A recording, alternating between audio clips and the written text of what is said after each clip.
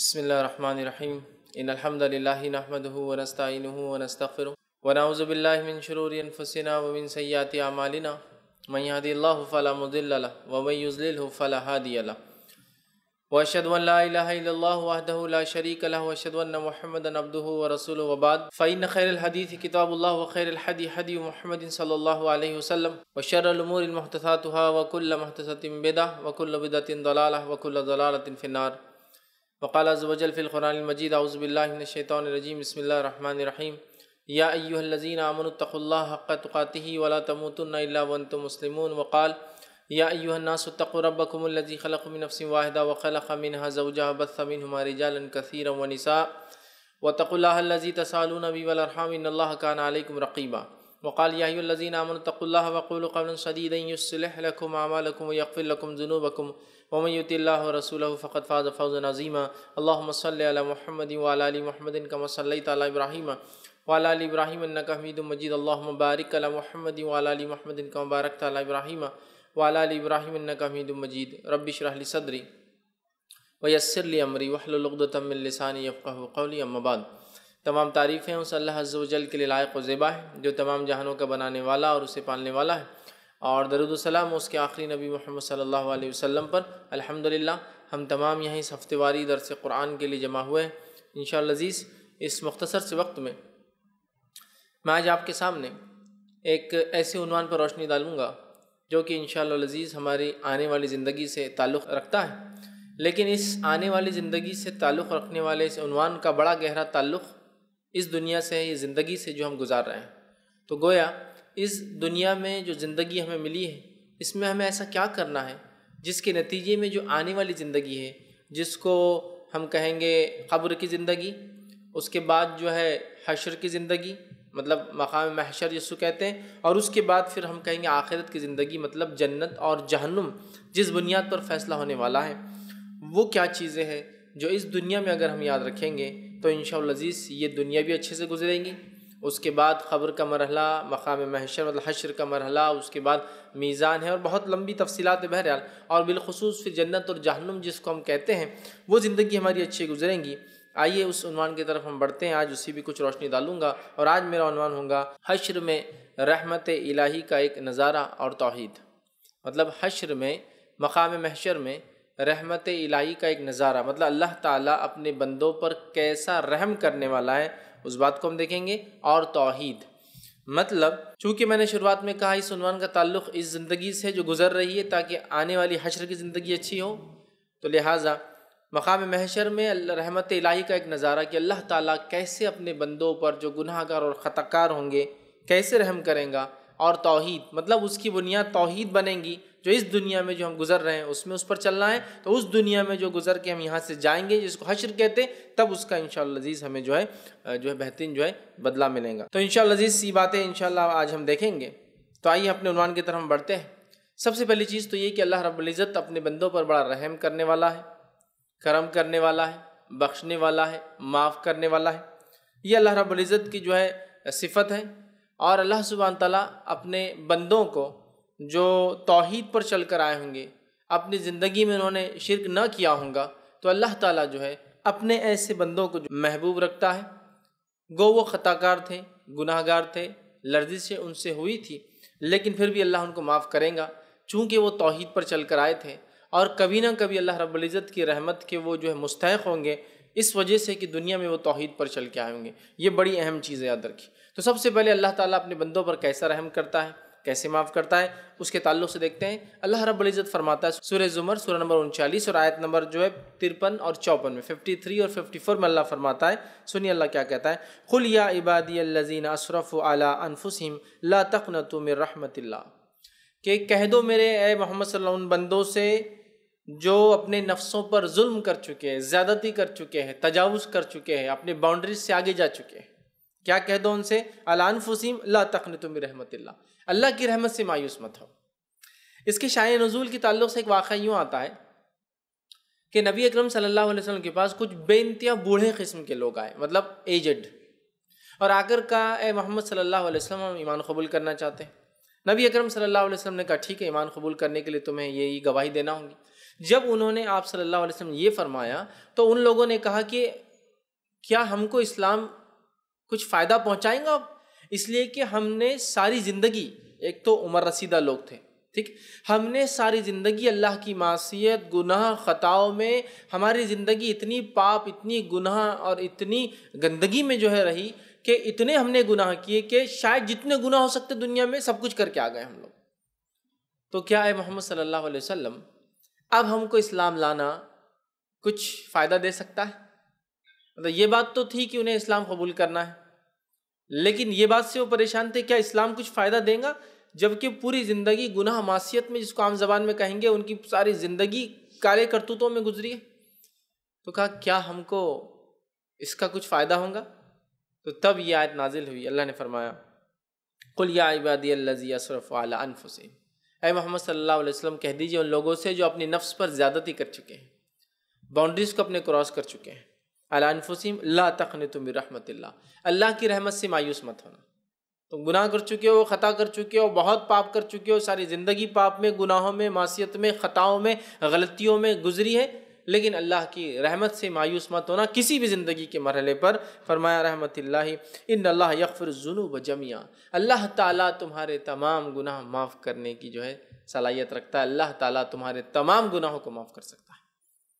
یہ لوگ جو ساری زندگی گناہوں میں گزار کے آ چکے تھے، بوڑھے ہو چکے تھے، اب ان کو لگتا تھا کہ کیا اسلام کچھ فائدہ دیں گا؟ ہمارے اس خطاؤں بھری زندگی گزارنے کے بعد بھی تو اللہ تعالیٰ جواب دے رہا ہے کہ میرے بندے جو اپنی نفسوں پر اس زیادتی کر چکے ہیں ایکسس کر چکے ایکسیڈ کر چکے اپنے لمٹس کو، گناہ اور خطاؤں میں، ان سے کہنا کہ اللہ کی رحمت سے مایوس مت ہونا۔ اللہ تعالیٰ تمہارے تمام گناہ، کیا دیکھیے فرمائے ان اللہ یغفر الذنوب و جمیہ اللہ تعالیٰ تمہارے تمام گناہوں کو معاف کر دیں گے۔ تو ایک بات تو پتہ چلی، اسلام قبول کرنے سے پچھلے سارے گناہ اور خطا معاف ہو جاتے ہیں۔ اسلام میں تین اعمال ایسے جن کے کرنے سے انسان کے پچھلے سارے گناہ اور خطا معاف ہو جاتے ہیں۔ ایک، اسلام قبول کرنا۔ دوسرا، ہجرت کرنا اللہ کے راہ میں اور تیسرا، حج کرنا، حج مبرور، جس کو اللہ قبول کر لے۔ یہ تین اعمال ایسے ان کے کرنے سے پچھلے سارے گناہ معاف ہو جاتے ہیں۔ تو کہا اللہ تعالیٰ تمہارے تمام گناہوں کو معاف کر دیں گا۔ ان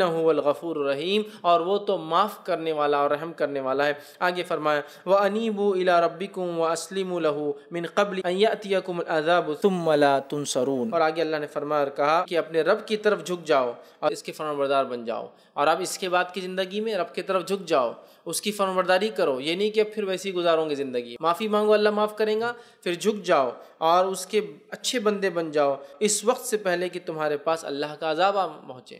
اس وقت سے پہلے کہ تم مر جاؤ، گناہوں کے اندر اور اللہ کا عذاب آ پہنچے، اس سے پہلے تمہیں اپنی زندگیوں کو بدلنا ہے، عذاب آئے، اس وقت پر تمہاری کوئی مدد نہ کی جائیں گی۔ تو گویا دنیا ایک ایسا مقام ہے جہاں اپنے ہر قسم کی خطا معاشیت گناہوں کو اللہ سے معافی کروا سکتے ہیں، یاد رکھیے لیکن ایک بار آنکھ بند ہو گئی، دنیا سے ہم رخصت ہو گئے، چلے گئے، تو اس کے بعد معافی والا فیض بند ہو جاتا ہے، اس بات کو ہم ذہنشین کر لے یاد رکھیے بند ہو جاتا ہے۔ تو لہٰذا جو کچھ کرنا ہے، اسی دنیا میں کرنا ہے۔ تو اللہ سے معافی مانگنا ہے۔ تو وہ لوگ جو انتہائی بوڑھے ہو چکے تھے، زندگیوں کو بہت ہی کالی کرتوتوں میں گزار کے آئے تھے۔ اسلام جب قبول کیا تو ایک شک کا اظہار کیا کیا ہماری معافی ہے؟ اللہ رب العزت نے کہا، میرے بندوں سے کہہ دو، جو اپنی نفسوں پہ ظلم کر کے آئے، مایوس مت ہونا۔ اللہ تعالیٰ تو تمام گناہوں کو معاف کرتا ہے۔ اور لیکن اس کے بعد وہ پھر اسلام پر چلنے لگے۔ اللہ کے اچھے بندے بن جائے، اس کی عاجزی ان ساری کرے، اس کے سامنے جھک جائے۔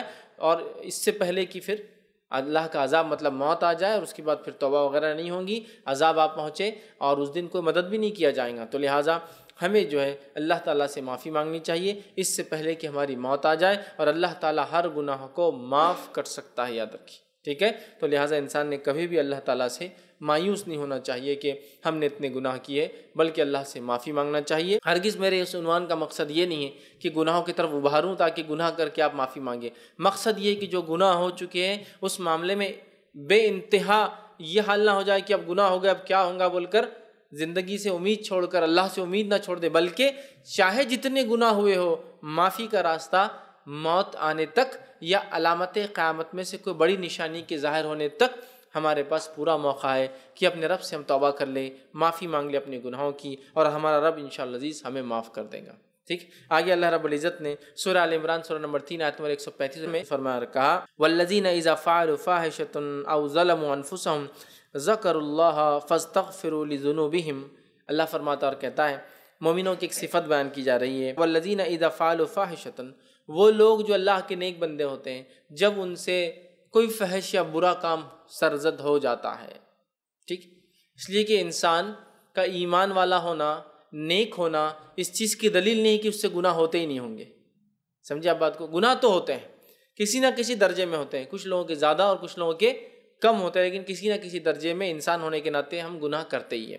تو اللہ نے فرمایا والذین اذا فعلوا فاحشۃ او ظلموا انفسهم جو اللہ کے نیک بندے جب ان سے کوئی فحش کام ہو جاتا ہے یا وہ اپنی نفسوں پہ ظلم کرتے ہیں، گناہ کر کے اللہ نے فرمایا انفسهم ذکر اللہ فاستغفر لذنوبهم۔ تو وہ فوراً اللہ کا ذکر کرتے ہیں اور اللہ سے اپنے گناہ کی معافی مانگتے ہیں۔ تو یہ صفت ہمیں اپنے اندر ڈالنا چاہیے موت سے پہلے۔ کیا کہ جیسے ہی ہم سے گناہ ہو خطا ہو معصیت ہو، فوراً کیا کرنا چاہیے؟ ہمیں اللہ تعالیٰ سے، ایک تو اللہ کا ذکر کرنا چاہیے اور دوسرا اللہ تعالیٰ سے اپنے گناہ کی سخت معافی مانگنا چاہیے کہ اللہ یہ خطا ہو گئی مجھ سے۔ تو اللہ نے فرمایا فستغفر لذنوبہم ومن یغفر الذنوب الا اللہ۔ اور اللہ فرماتا ہے اللہ کے سوا کون ہے جو تمہارے گناہ معاف کرے گا؟ اللہ کے سوا کون ہے جو ہمارے پاپوں کو جو ہے معاف کرے گا؟ کوئی بھی نہیں ہے نا؟ تو ظاہر سی بات ہے، بندہ اللہ کے پاس رجوع کریں گا یہ نا۔ ایک غلط فہمی جو امت مسلمہ میں یہ پھیلا دی گئی ہے، وہ یہ ہے کہ جب بندہ گناہ کرتا تو اللہ قبول نہیں کرتا ہے۔ جبکہ پہلی آیت اور دوسری آیت جو میں آپ کے سامنے رکھ رہا ہوں دونوں دونوں میں گناہ گاروں کا تذکرہ اور گناہ کے بعد اللہ کی معافی کا اور اللہ ان کی سنتا ہے کہ تو اللہ نے تو یہاں فرما دیا، پھر اللہ کے علاوہ کون ہے جو تمہارے گناہ معاف کریں گا؟ اور جب اللہ گناہ معاف کریں گا تو ہماری پکار کے بات کریں گا۔ تو ظاہر سی بات ہے، پکار دعا ہوتی ہے۔ جب گنہگار بندہ دعا کریں گا، اللہ مجھے معاف کر تو اس کا رب اسے معاف کرتا ہے۔ اس کا مطلب اللہ تعالیٰ اللہ گناہ گار کی بھی سنتا ہے، بلکہ میں تو کبھی کبھار کہتا ہوں گناہ گار کی پہلے سنتا ہے، اس لیے کہ وہ اپنے رب کی طرف رجوع کرنا چاہتا ہے۔ ایک مثال دیتا ہوں، ایک والدین ہیں۔ ان کے کئی اولاد ہیں، کئی بچے ہیں۔ سارے کے سارے نیک ہیں، لیکن ایک ہے جو بدماش ہے۔ ایک ہے جو حد سے زیادہ تجاوز کرتا ہے۔ تو سارے چونکہ نیکوکار ہیں، ان کی کسی اچھی بات پر والدین کو اتنی خوشی نہیں ہوتی ہے جتنی وہ خطا کار اور گناہ گار بچہ جب اچھائی کرتا ہے تو والدین خوش ہوتے ہیں اس سے۔ ہے نا؟ اس لیے کہ یہ تھوڑا سا راستے سے ہٹ کر ہے۔ اگر یہ کچھ اچھا کر رہا تو بڑی خوشی ہوتی ہے ان کو، ہے نا؟ تو اللہ تعالیٰ بھی اپنے گناہ گار بندوں کو معاف کرتا ہے۔ اس لیے کہ اللہ کے علاوہ کون ہے جو ہمارے گناہ معاف کریں گے؟ تو اللہ نے فرمایا وہ یغفر الذنوب الا اللہ اور اللہ کے سوا کون ہمارے گناہوں کو معاف کریں گا؟ اللہ ولم یسر علی ما فعلوا وهم یعلمون اور وہ اپنے اس کیے پر اڑے ہوئے نہیں ہوتے ہیں غلطی کر کے، بلکہ وہ جانتے ہیں جو فیل کیا غلط ہے اور اس پہ وہ معافی مانگتے ہیں۔ اس لیے کہ جب کوئی آدمی گناہ پہ اڑ جاتا ہے تو اللہ تعالیٰ پھر اس کو معاف نہیں کرتا ہے ٹھیک ہے؟ تو یہاں بھی دیکھیے اللہ نے فرمایا کہ جب انسان گناہ کرتا ہے، خطا کرتا ہے، معصیت کرتا ہے، تو وہ اللہ سے کیا کرے؟ توبہ کرے۔ اور سب سے پہلا کام کیا کرے؟ جب گناہ ہو جائے تو اللہ کا ذکر اور اس کے بعد ذکر کرنے کے بعد اللہ سے سخت توبہ کرے اللہ کے ذکر میں اللہ کی حمد و ثناء ہے، تلاوت قرآن ہے، نماز کا پڑھنا ہے، ٹھیک ہے؟ اور اس کے بعد وہ اللہ سے معافی مانگتے ہیں۔ اور اللہ کے سوا کون ہے جو ہمارے گناہوں کو معاف کرے؟ اللہ ہی ہمارے گناہوں کو معاف کرتا ہے، یہ اس کا معنی ہے، ٹھیک ہے؟ تو یہ بات تھی کہ دنیا میں اللہ تعالیٰ ہمیں معاف کرتا ہے، ہر گناہ کو معاف کرتا ہے، ٹھیک ہے؟ اب یہ ہوا کہ انسان نے گناہ اور خطائیں کی اور دنیا سے اب چلا گیا۔ جانے کے بعد وہاں کیا ہونے والا ہے؟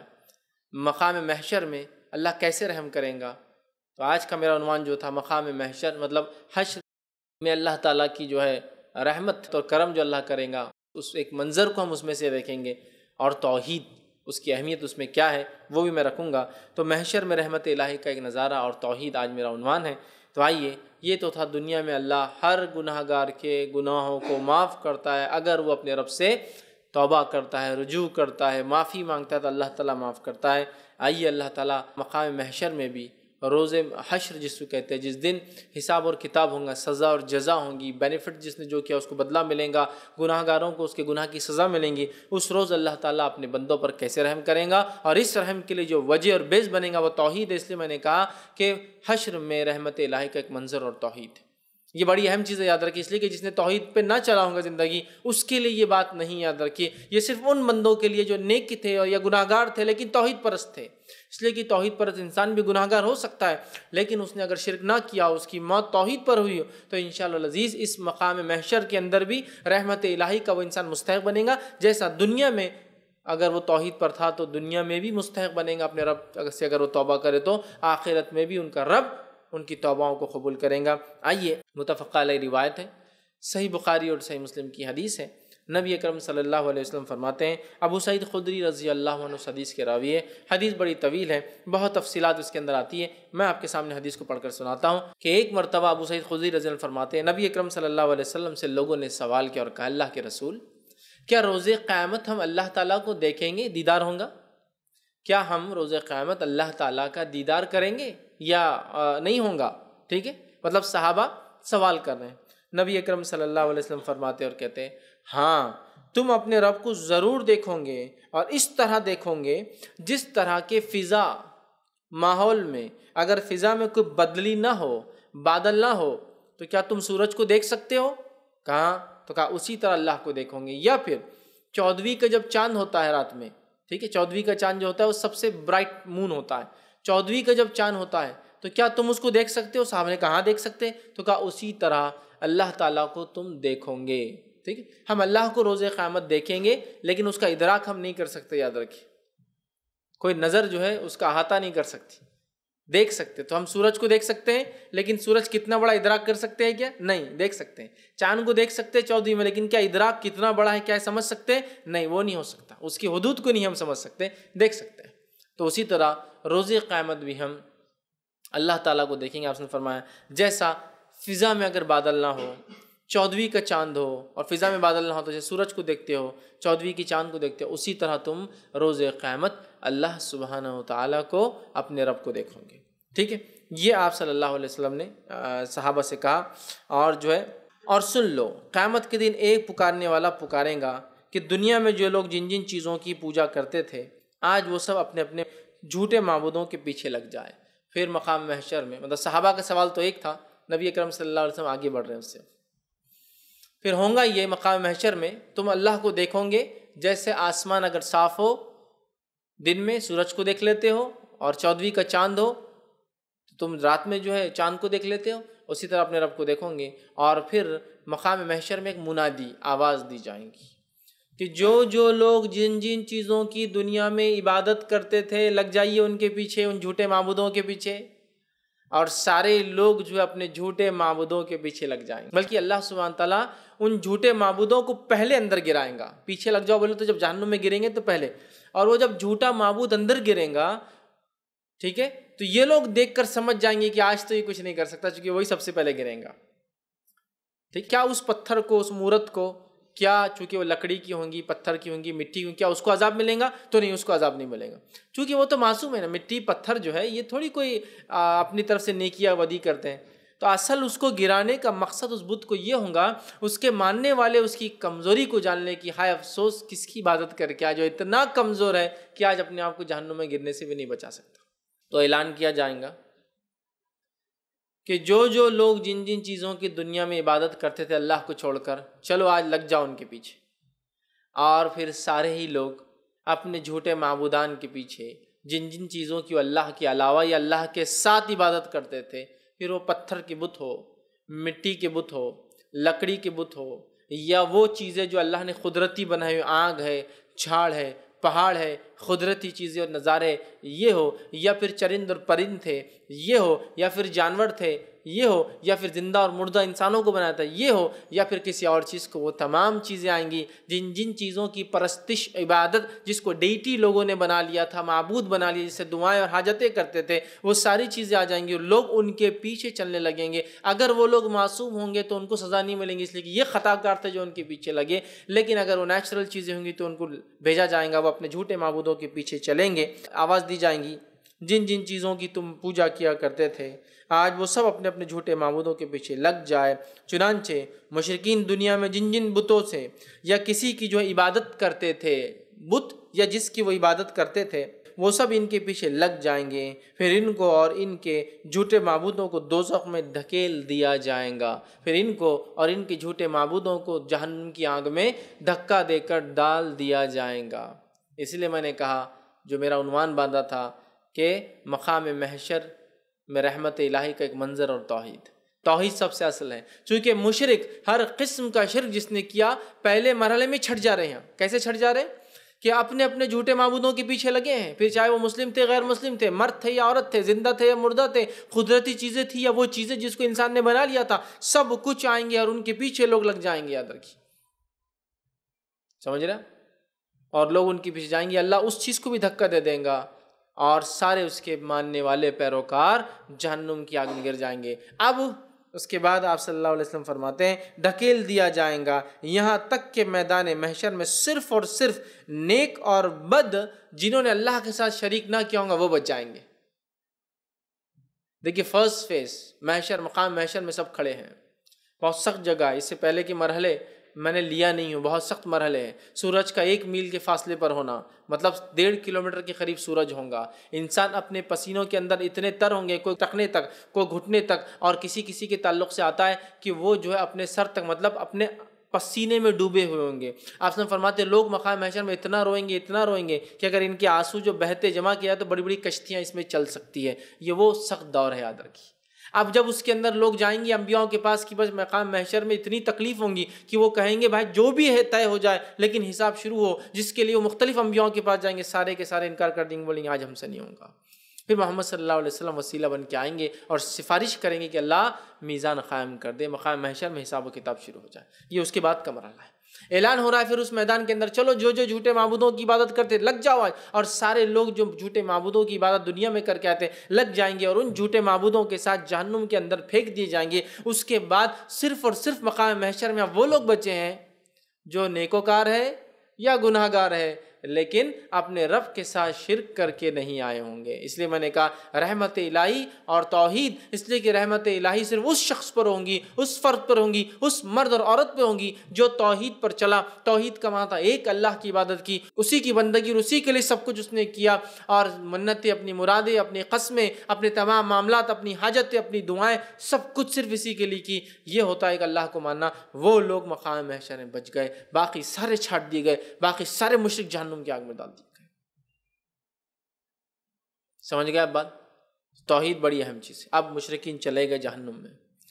اس کے بعد جو ہے، اب جو کچھ بچے ہیں، وہ نیک اور بد رہ جائیں گے۔ جنہوں نے دنیا میں اللہ کے سوا اور کسی کی عبادت نہیں کی ہوں گی، وہ بچ جائیں گے۔ ان کے پاس رب العالمین خود تشریف لائیں گا۔ ان کے پاس اللہ تعالیٰ خود تشریف لائیں گے اور ان سے کہیں گے کہ سب لوگ اپنے جھوٹے معبودوں کے ساتھ چلے گئے، تم لوگ یہاں کیا کر رہے ہو؟ ٹھیک ہے، کیا کہیں گے اللہ تعالیٰ؟ سب لوگ اپنے معبودان باطلہ کے ساتھ چلے گئے۔ اب تم کس کا انتظار کرتے کھڑے مقام محشر کے اندر؟ ٹھیک ہے، اب یہ بات وضاحت نہیں ہے۔ کیا لوگ سمجھ پائیں گے کہ یہ اللہ تعالیٰ ہے؟ یا پھر لوگ بھولے ہوئے ہوں گے یا کسی چیز کے انتظار میں ہوں گے تاکہ کچھ نشانی دیکھے؟ حدیث میں یہ بہت زیادہ سراحت نہیں ملتی۔ بہت، چونکہ مقام محشر کا معاملہ ہے عالم غائب کا معاملہ ہے۔ تو غائب کی بہت ساری باتیں کیا ہوتی ہیں معلوم آپ کو؟ سمجھ میں نہیں آتی کیسی ہوں گی۔ اس کے آرڈرز کیسے ہوں گے؟ پتہ نہیں مطلب کیسا ہوتا ہوں گا۔ لیکن ہوں گا یہ بات طے۔ ہے غائب کا معاملہ ایسے ہی ہوتا ہے، جیسا کہ خبر کے اندر کے حالات۔ بہت مشکل ہوتا ہے کبھی کوئی ڈیفائن کرنا، لیکن ہوں گا۔ کیسے ہوں گا وہ کیفیت نہیں بتا سکتے ہم، لیکن ہوں گا۔ سوال جواب ہوں گے تو ہوں گے، کیفیت نہیں پتا۔ خبر میں ہوں گی، خبر دوائیں گی میں دباتی۔ کیسے؟ کیفیت ہم نہیں جانتے۔ سمجھ رہے نا کہ بھائی فزیکل تو کبھی دیکھا نہیں گا خبر کو ہوتا ہے، لیکن ہوتا ہے، جب کہہ دیا گیا تو ہوتا ہے۔ تو اب اللہ تعالیٰ کہیں گا، خود تشریف لائیں گا اور کہیں گا، سب لوگ اپنے اپنے جھوٹے معبودوں کے ساتھ چلے گئے، تم یہاں کس کا انتظار کر رہے ہو؟ وہ اہل توحید کہیں گے گناہ گار اور نیکوکار، لیکن ہے اہل توحید۔ زندگی میں اللہ کے علاوہ کسی کی عبادت نہیں کر کے گئے ہوں گے یہ لوگ، لیکن ہے گناہ گار بھی اور نیکوکار دونوں مکس ہے اہل توحید تو ہوئی نا، چاہے جیسے بھی ہو۔ اللہ کہیں گا، تم یہاں کس کا انتظار کر رہے ہو؟ وہ اہل توحید کہیں گے، یا اللہ، ہم نے دنیا میں ان مشرقین کو ان کے گندے عمل یعنی شرک کی وجہ سے اس وقت چھوڑ دیا تھا، جبکہ ہم دنیا میں حاجتوں کے لیے ان سے بہت زیادہ مستحق تھے کہ ان سے کچھ مدد لیں۔ اے اللہ، ہم نے تو ان مشرقین کو دنیا میں ترک کر دیا تھا۔ حالانکہ دنیا میں ہم زیادہ مستحق تھے، ان سے کچھ لے، فائدہ اٹھائے، لیکن ان کی شرک کی وجہ سے ہم نے فائدہ نہیں لیا تھا۔ مطلب یہ ہوا کہ کسی مشرق کے پاس آپ گئے مدد کے لیے وہ کہہ رہا ہے شرک پہ آ جاؤ تو میں مدد کروں گا۔ تو ان توحید پرستوں نے کوئی مدد ان مشرقین سے نہیں لی ہوں گی۔ اس بنیاد پہ کہ وہ مشرق ان کی مدد اس بنیاد پہ کر رہا تھا کہ ان کو شرک کی طرف دعوت دے رہا۔ تو وہ کہیں گے، اے اللہ، دنیا ہم زیادہ مستحق تھے، لیکن کبھی مستحق ہونے کے باوجود ہم نے ان مشرقین سے دنیا میں مدد نہیں لی۔ تو آج کہاں سے ہم ان کے لیے کچھ کریں گے؟ آج کیا ان سے امید ہوگی ہم کو؟ تو حاجتوں کے لیے ان سے بہت ضرورت مند بھی تھے۔ پھر بھی ہم نے ان کے مشرق ہونے کی وجہ سے ان کی صحبت کو ترک کر دیا۔ پھر بھی ان کے مشرق ہونے کی وجہ سے ان کی صحبت کو، ان کے ساتھ رہنے کو ہم نے ترک کر دیا۔ اب تو یہی ہماری جگہ ہے جب تک ہمارا معبود خود یہاں نہ آ جائے۔ تو اللہ نے کہا، ان کے ساتھ کیوں نہیں گئے تم؟ کیوں نہیں ہو تو کہا، نہیں، وہ تو ہم چھوڑ کر آئے تھے ان کو دنیا میں۔ اب یہی ہماری جگہ، یہاں سے تو نہیں ہلنے والے۔ چونکہ اللہ نے کیا اعلان کروایا؟ جو جو جس کی عبادت کرتے تھے وہ آ جائے، وہ آ گئے۔ جو جو ان کی عبادت کرتے کے پیچھے لگ جائے، لگ گئے اللہ کے اللہ وہ جہنم میں گر گئے، یہ بھی گر گئے۔ اب یہ لوگ بچے ان سے سوال ہو رہا تم یہاں کیوں کھڑے ہو گئے کیوں نہیں ان کے ساتھ؟ تو کہا، وہ ان کو تو ہم نے دنیا میں چھوڑ کر آئے تھے تو اب سوال ہی نہیں آتا کہ ہم ان کے ساتھ اب جائیں گے۔ یہاں کس کا انتظار کر رہے ہو؟ تو وہ کہیں گے، ہمارے رب کا ہم انتظار کر رہے ہیں۔ اب کیا وہ بھلا دیے گئے یا اللہ کو نہیں پہچان سکے؟ وہ اللہ عالم اس لیے میں نے کہا کہ یہ بات واضح نہیں لیکن عالم غائب کی بات ہے۔ ہمیں یہ بات مکمل طور سے ایکسپلین کرنا یا سمجھنا ممکن ہو سکتا ہے، یہاں نہ ہو۔ اور وہ کہیں گے کہ اب تو یہی جگہ ہے، جب تک ہمارا معبود خود یہاں نہ آئے ہم کسی اور کے پیچھے لگنے والے نہیں ہیں۔ ہمارا رب جب یہاں آئیں گا، ہم خود اس کو پہچان لیں گے۔ ٹھیک ہے، وہ کیا کہیں گے؟ جب اللہ ہمارا رب یہاں آ جائیں گا، ہم اس کو پہچان لیں گے۔ ٹھیک؟ مطلب اب تک اللہ کو نہیں پہچان سکے تھے، یا اللہ تعالیٰ نے ان سے بات کیا کلام کیا جس سے مومن ابھی پہچان نہیں سکے کہ اللہ ہے۔ ٹھیک؟ اس کے بعد جو ہے، ابو سعید خود حضن فرماتے ہیں حدیث میں، اس طرح سے آتا ہے کہ اللہ تعالیٰ ان سے پوچھیں گا کہ کیا تمہارے رب کی کوئی علامت ہے تمہارے پاس جس سے تم کو معلوم ہو جائیں گا یہ تمہارا رب ہے؟ تو اس سے ایک بات جو ظاہر ہو رہی ہے وہ یہ ہے کہ شاید مومن اللہ کو اب تک نہیں پہچان پائے۔ اللہ آیا خود، بات کیا لیکن پہچان نہیں پائے۔ کیسے، کیا؟ وہ اللہ عالم اب ہم نہیں سمجھ سکتے۔ یہ غائب کی بات ہے۔ تو ابو سعید خود فرماتے ہیں کہ اللہ تعالیٰ پوچھیں گا کہ تم جو اللہ کے لیے، تمہارے رب کے لیے یہاں کھڑے ہو، انتظار کر رہے ہو، ان کے پیچھے نہیں گئے، تو کیا کوئی علامت ہے جس سے تم کو معلوم ہو جائے گا کہ یہ تمہارا رب ہے، اللہ تعالیٰ ہے؟ جس سے تم اسے پہچان لو گے، وہ کہیں گے ہاں بے شک ہمارا رب نے قرآن میں فرمایا تھا۔ قرآن نے فرمایا تھا اور سور قلم کی یہ آیت میں اللہ نے فرمایا تھا، یوم یق شف ان شاقن ویدعون الی السجود۔ کہ اللہ فرماتا ہے جو آیت ہے، اور اس دن جو ہے پنڈلی ظاہر کی جائیں گی اور لوگ سجدے میں گر جائیں گے۔ ٹھیک؟ پنڈلی سمجھتے ہیں نا ٹکنے سے اوپر کا حصہ اور گھٹنے سے نیچے کے حصے کو پنڈلی کہا جاتا ہے۔ اس روز پنڈلی ظاہر کی جائیں گی۔ اب اللہ تعالیٰ کو مومنین پنڈلی سے کیسے پہچانیں گے اس کی؟ واللہ عالم۔ چونکہ اللہ رب العزت کی ذات کے تعلق سے جو باتیں آتی ہیں، ٹھیک، اس کے چہرے، وجہ کے تعلق سے اس کی انگلیوں کے تعلق سے، اس کے قدم کے تعلق سے، اس کی پنڈلی کے تعلق سے، اس کے ید ہاتھوں کے تعلق سے ہم لوگوں کا یہ عقیدہ ہے کہ اللہ نے جب کہا تو وہ ہے۔ لیکن کیسے اور کیفیت ہم کو نہیں معلوم۔ اللہ بات کرتا ہے، ٹھیک ہے، بات کرتا ہے کیفیت ہم کو نہیں معلوم۔ سمجھ رہے آپ؟ جس کے تعلق سے امام مالک کا ایک بہت ہی سنہرا گولڈن رول جس کو ہم مان سکتے سنہرا اصول ہے جب ان سے کہا گیا کہ استوا اللہ نے استوا کیا استوا مطلب بیٹھنا، ٹھیک ہے، جیسا کہ ایک بادشاہ اپنے سیاحسن پر، اپنے تخت پر بیٹھتا ہے، تو یہ کیسا کیا ہوں گا اللہ تعالیٰ نے؟ تو انہوں نے کہا الاستوا وہ معلوم۔ استوا کیا عربی زبان میں معلوم ہے؟ سوار ہونا، بیٹھنا۔ مطلب جیسا کہ ایک بادشاہ اپنے سیاحسن پہ تخت پر بیٹھتا ہے۔ الاستوا وہ معلوم استوا تو معلوم۔ وہ کیف مجھول اللہ کے بارے میں جب آتا ہے مجھول ہم کو اس کی کیفیت نہیں معلوم۔ اس کی کیفیت اللہ کیسا بیٹھیں گے ہم کو نہیں معلوم۔ لیکن یہ بات تو طے ہے، ہر کسی کا استوا اس کی ذات اور شخصیت کے اعتبار سے ہوتا ہے۔ فقیر کا استوا الگ ہے، ایک مالدار آدمی کا استوا الگ ہے، تو رب کا بھی استوا ہے۔ الاستوا وہ معلوم وہ کیف مجھول لیکن اس کیفیت ہمیں نہیں وہ ایمان بھی واجب، اور اس پر ایمان لانا واجب ہے، چونکہ اللہ نے کہہ دیا۔ وہ سوال عنہ بدت اور اس پر سوال کرنا بدت ہے، اس لیے کہ صحابہ نے کبھی نہیں کیا، کیسا ہوں گا؟ تو یہاں پنڈلی ظاہر ہوں گی تو اللہ کو قدم ہے اللہ کی انگلیاں روایت میں آتا ہے، اسی طرح پنڈلی کا بھی لفظ آتا ہے۔ پنڈلی ظاہر کی جائے۔ وہ کہیں گے، ہم اپنے رب کو اس کی پنڈلی سے پہچان لیں گے۔ پنڈلی سمجھتے ہیں نا، ٹکنے سے اوپر والا حصہ اور گھٹنے سے نیچے والے حصے کو۔ شن جس کو کہتے ہیں، پچھلا حصہ جو ہوتا ہے، اس کو کہتے ہیں پنڈلی۔ تو یہاں اللہ نے فرمایا یعنی اس دن پنڈلی کھول دی جائیں گی اور لوگ سجدے کے لیے بلائے جائیں گے، یا لوگ سجدے میں گر جائیں گے۔ تو وہ کہیں گے ہاں ہم کو معلوم ہمارا رب کیسا ہے۔ ہم اس کو اس کی پنڈلی سے پہچان لیں گے۔ ٹھیک ہے؟ یعنی اس دن جو پھر یہ ہوگا تو فوراً اللہ رب العزت جو ہے اپنی پنڈلی کو کھول دیں گا۔ مطلب اب تک مومنوں نے اللہ کو نہیں پہچانا ہوگا، جبکہ سارے معبودان باطل کے پیچھے لوگ جہنم میں گر چکے ہیں۔ اب پنڈلی اللہ تعالیٰ جو ہی کھول دیں دیا جائے گا، سارے مسلمان اللہ کے سامنے سجدے میں گر جائیں گے۔ جیسی پنڈلی ظاہر ہوں گی، اپنے رب کو مسلمان پہچان لیں گے اور سجدے میں گر جائیں گے۔ ٹھیک ہے؟ سجدے میں گر جائیں گے، جو دنیا میں خلوص کے ساتھ اللہ کو سجدہ کیا کرتے تھے اور جو محض دکھاوے کے لیے کرتے تھے، دونوں کے سجدے میں فرق یہ ہوگا جو خلوص سے دل سے اللہ کو دنیا میں سجدہ کرتے تھے، وہ سجدے میں گر جائیں گے اور جو خلوص سے دل سے نہیں کرتے اس کو کہیں گے منافق تھے، ٹھیک ہے؟ یا سجدہ بس یوں بس اٹھے چھوٹے کر دیتے تھے، ان کا حال یہ ہوگا کہ وہ اپنے ایک طرف بازو میں گر جائیں گے، لیکن نیچے سامنے سر نہیں جھکا پائیں گے۔ سمجھا؟ سمجھا؟ مطلب جو خلوص سے دل سے دنیا میں سجدہ کرتے تھے، رب کے سامنے سجدہ ریز ہو جائیں گے۔ لیکن جو خلوص سے دل سے نہیں کرتے تھے، چاہے یہ منافقین ہوں گے، جن کے تعلق سے ہے کہ وہ سامنے نہیں گریں گے سائڈ میں گر جائیں گے، سب کروٹ لیتا ہے نا آدمی، کروٹ لیتا ہے نا ویسا سجدہ نہیں کر پائیں گے۔ یہی اس میں آتا ہے، ان کی پیٹ جم جائیں گی تو جھک نہیں پائیں گے، کمر سے نیچے۔ ٹھیک۔ تو مومن اپنے رب کو پہچان کے سجدے میں گر جائیں گے۔ جو خلوص دل سے دنیا میں سجدہ نہیں کرتے تھے، وہ آڑے گر جائیں گے، اس سے ایک بات وہ پتہ چلی۔ ہم سجدہ عموماً نماز میں کرتے ہیں، ہے نا؟ نماز سے ہٹ کر تو کوئی سجدہ نہیں سوائے سجدہ شکر کے علاوہ اور سجدہ تلاوت۔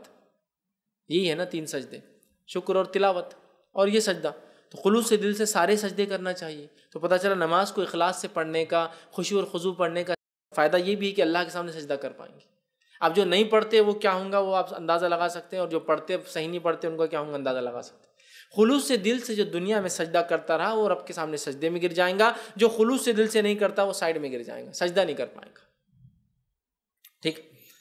سجدہ کرنا چاہیں گا، مگر وہ کروٹ کے بل آندھے منہ گر جائیں گے اور سجدہ نہیں کر سکیں گے۔ ٹھیک ہے۔ اس کے بعد نبی اکرم صلی اللہ علیہ وسلم نے فرما رکھا پھر دوزق پر پل سے رات لگا دیا جائے گا۔ جہنم کے اوپر پل سرات مطلب وہ برج لگا دیا جائے گا۔ جس کے تعلق حدیث میں بال سے زیادہ باریک ہے، تلوار سے زیادہ دھاردار ہے، اور اس کے دونوں جانب حکس ہے حکس جس میں جب انسان لگتا ہے تو ایک آزا کاٹ دیتا ہے، ایک حکم پھنستے ایک آزا کٹ کے گر جاتا ہے جہنم کے اندر۔ مطلب ایک طرف گرا، ایک گناہ کی وجہ سے تو ایک حکم اٹکا، ایک آزا گر گیا جھڑ کے۔ دوسری طرف گرا، دوسرا حکم اٹکا، دوسرا آدھا جھڑ گیا۔ تو ایسے آدھا جھڑتے جائیں گے لوگوں کے جو گناہ گار ہوں۔ تو پل سرات لگا دیا جائیں گا جہنم کے اوپر۔ اور شفات کا دروازہ کھول دیا جائے گا۔ شفات سمجھتے آپ؟ سفارش کا دروازہ کھول دیا جائے گا۔ لیکن جو لوگ سفارش کے امیدوار ہیں، وہ غور سے سنیں، سفارش صرف توحید پرستوں کی ہو رہی ہے۔ اس میں کوئی بھی غیر توحید پرست نہیں، اس لیے کہ باقی سب پہلے چھٹ چکے ہیں۔ بہت سے لوگ غلط فہمی بھی ہے نا؟ انبیاؤں کو، فرشتوں کو، شہداؤں کو، ولیوں کو پوچھ کر آئیں گے اور پھر سوچیں گے ہم جو ہے شفاعت کے مستحق ہوں گے۔ وہ تو پہلے ہی چھٹ گئے سارے جو غیر اللہ کی عبادت کر کے آئے، پہلے ہی چھٹ گئے فرسٹ فیز میں۔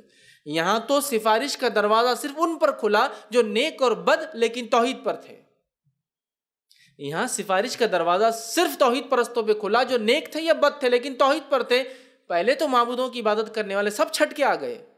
تو جو لوگ امید میں ہے نا، اس کا دامن پکڑ کے جائیں گے، اس کا دامن تو سوال ہی نہیں آتا۔ اگر اللہ کی عبادت نہیں کر کے خالص تو وہ تو چھٹ گئے پہلے ہی۔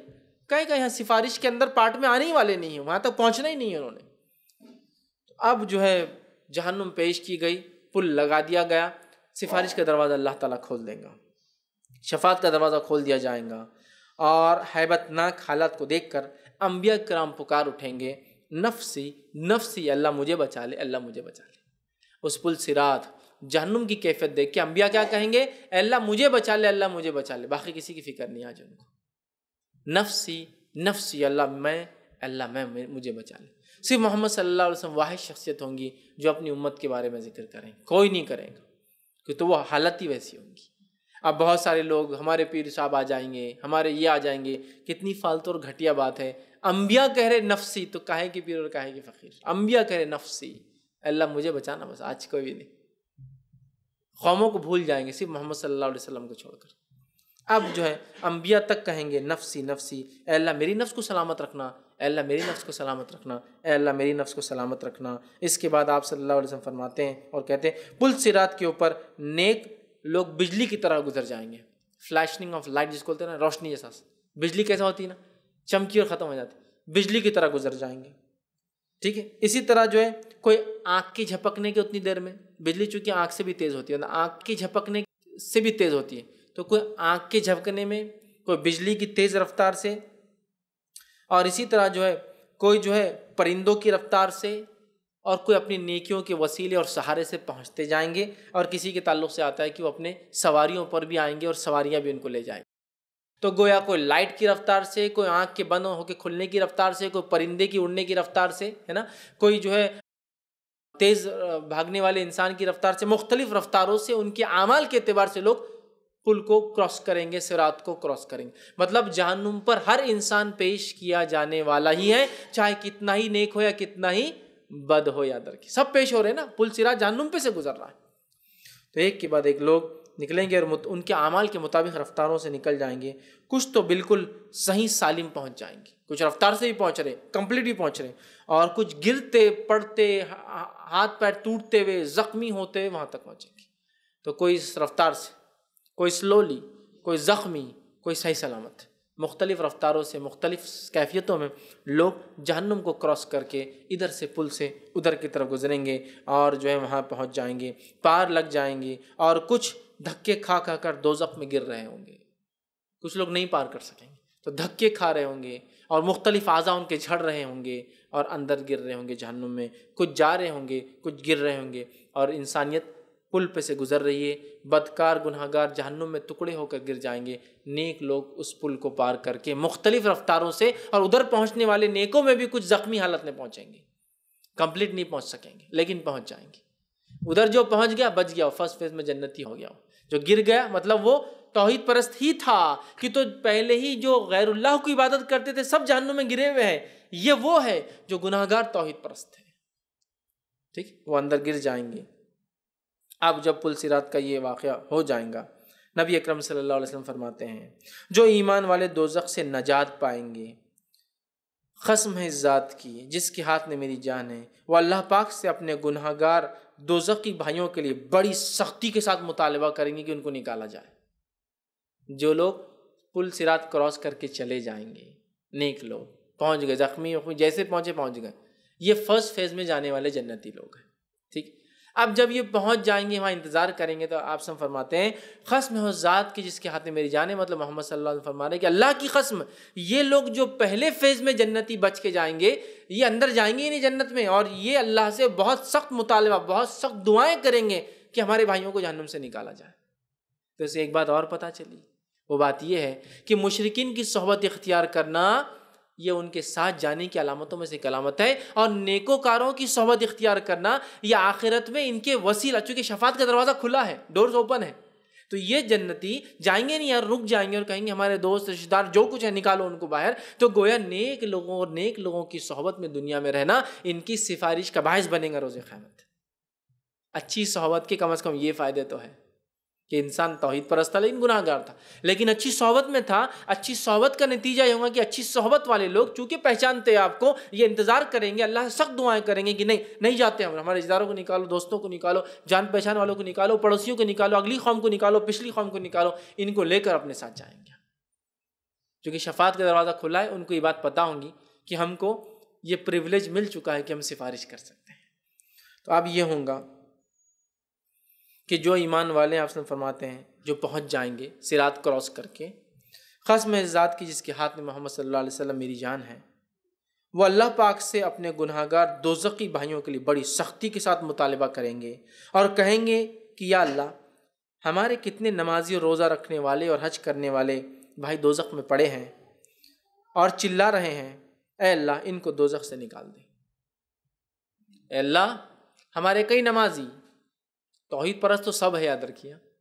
توحید پرست تھے بول کے تو پل سرات پہ سے گزرے تھے، باقی تو پہلے جہنم میں چلے گئے۔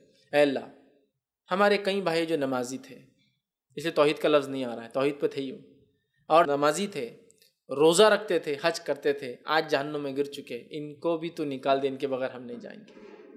پتہ یہ چلا، توحید پرس انسان نماز پڑھنے کے بعد بھی، روزہ رکھنے کے بعد بھی اور حج کرنے کے بعد بھی اپنے گناہوں کی وجہ سے جہنم میں جا سکتا ہے۔ یہی تو ہے نا۔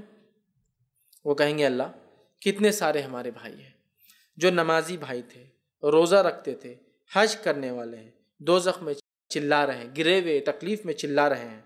اے اللہ، ان کو دو زخ سے نکالتے چونکہ ان کو معلوم ہوگا شفاعت کا دروازہ کھلا ہے، سفارش ابھی کی جا سکتی ہے۔ اب اس کے بعد اللہ رب العزت فرمائیں گا، جاؤ۔ ان کی صورتیں پہچان پہچان کر ان کو دوزخ سے نکال جاؤ۔ جاؤ، پہچانو صورتیں کہ کی اور نکال لاؤ۔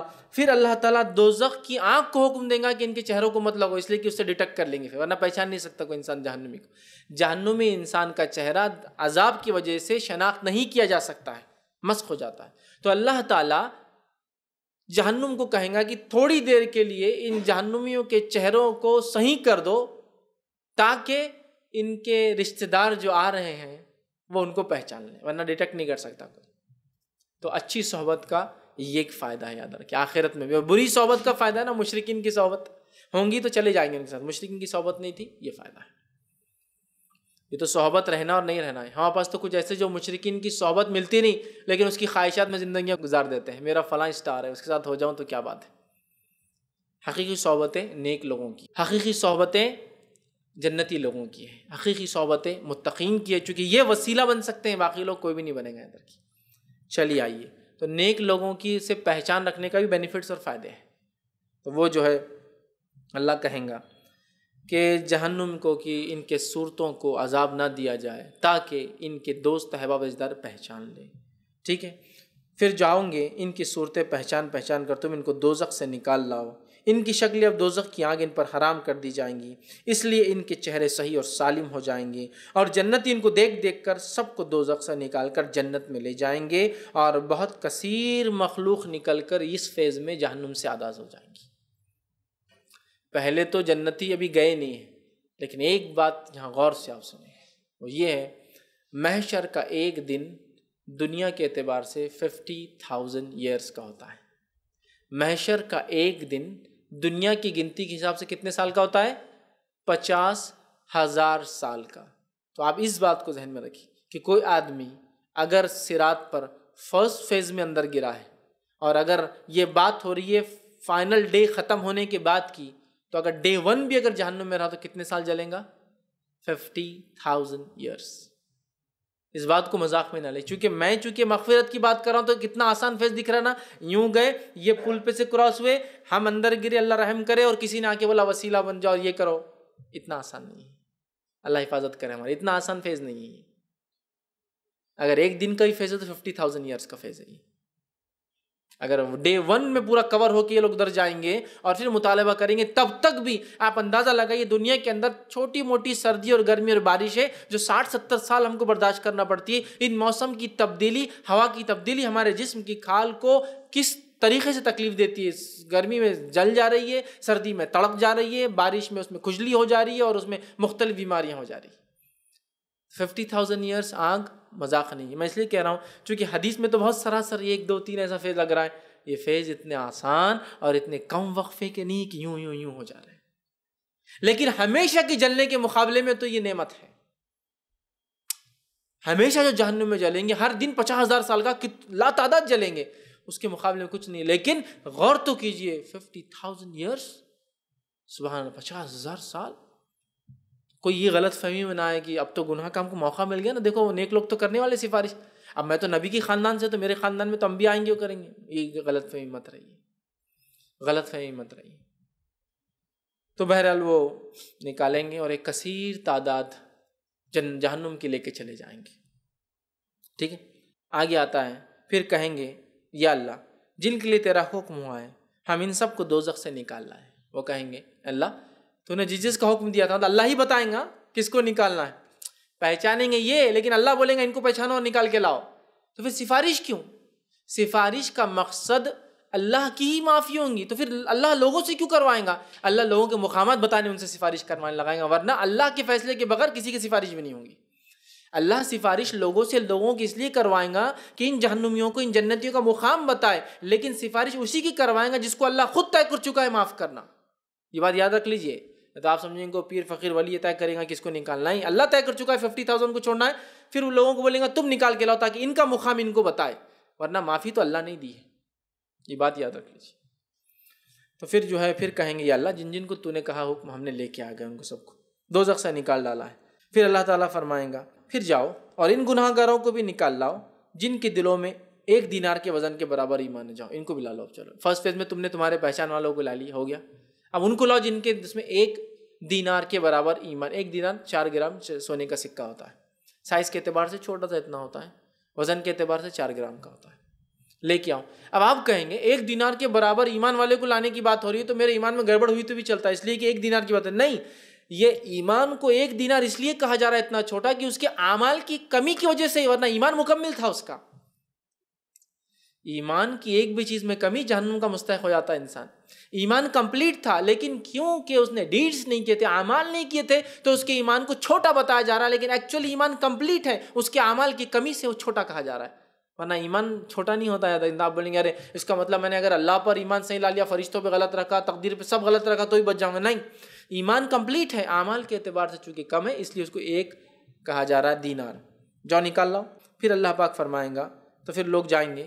اور ایک دینار کے برابر کس کس کا ایمان تھا نکال کے لا لیں گے۔ ٹھیک؟ وہاں وہ دکھایا جائے گا۔ مومنوں کو دیکھیں گا کس کا ایمان کیا تھا، کیسا تھا۔ اس کے بعد وہ لا کے ایک کثیر تعداد جہنم سے نکل کر آ جائیں گی۔ پھر اللہ پاک فرمائیں گے، اللہ تعالیٰ، پھر جاؤ۔ اور ان کو بھی نکال لاؤ جن میں آدھے دینار کے برابر ہوں گا پھر یہ جنتی جائیں گے۔ آدھے دینار والوں کو نکال کر لا لیں گے۔ پھر اللہ تعالیٰ فرمائیں گا، جاؤ ان کو بھی نکال کر لا لو جن میں ذرہ برابر بھی ایمان تھا۔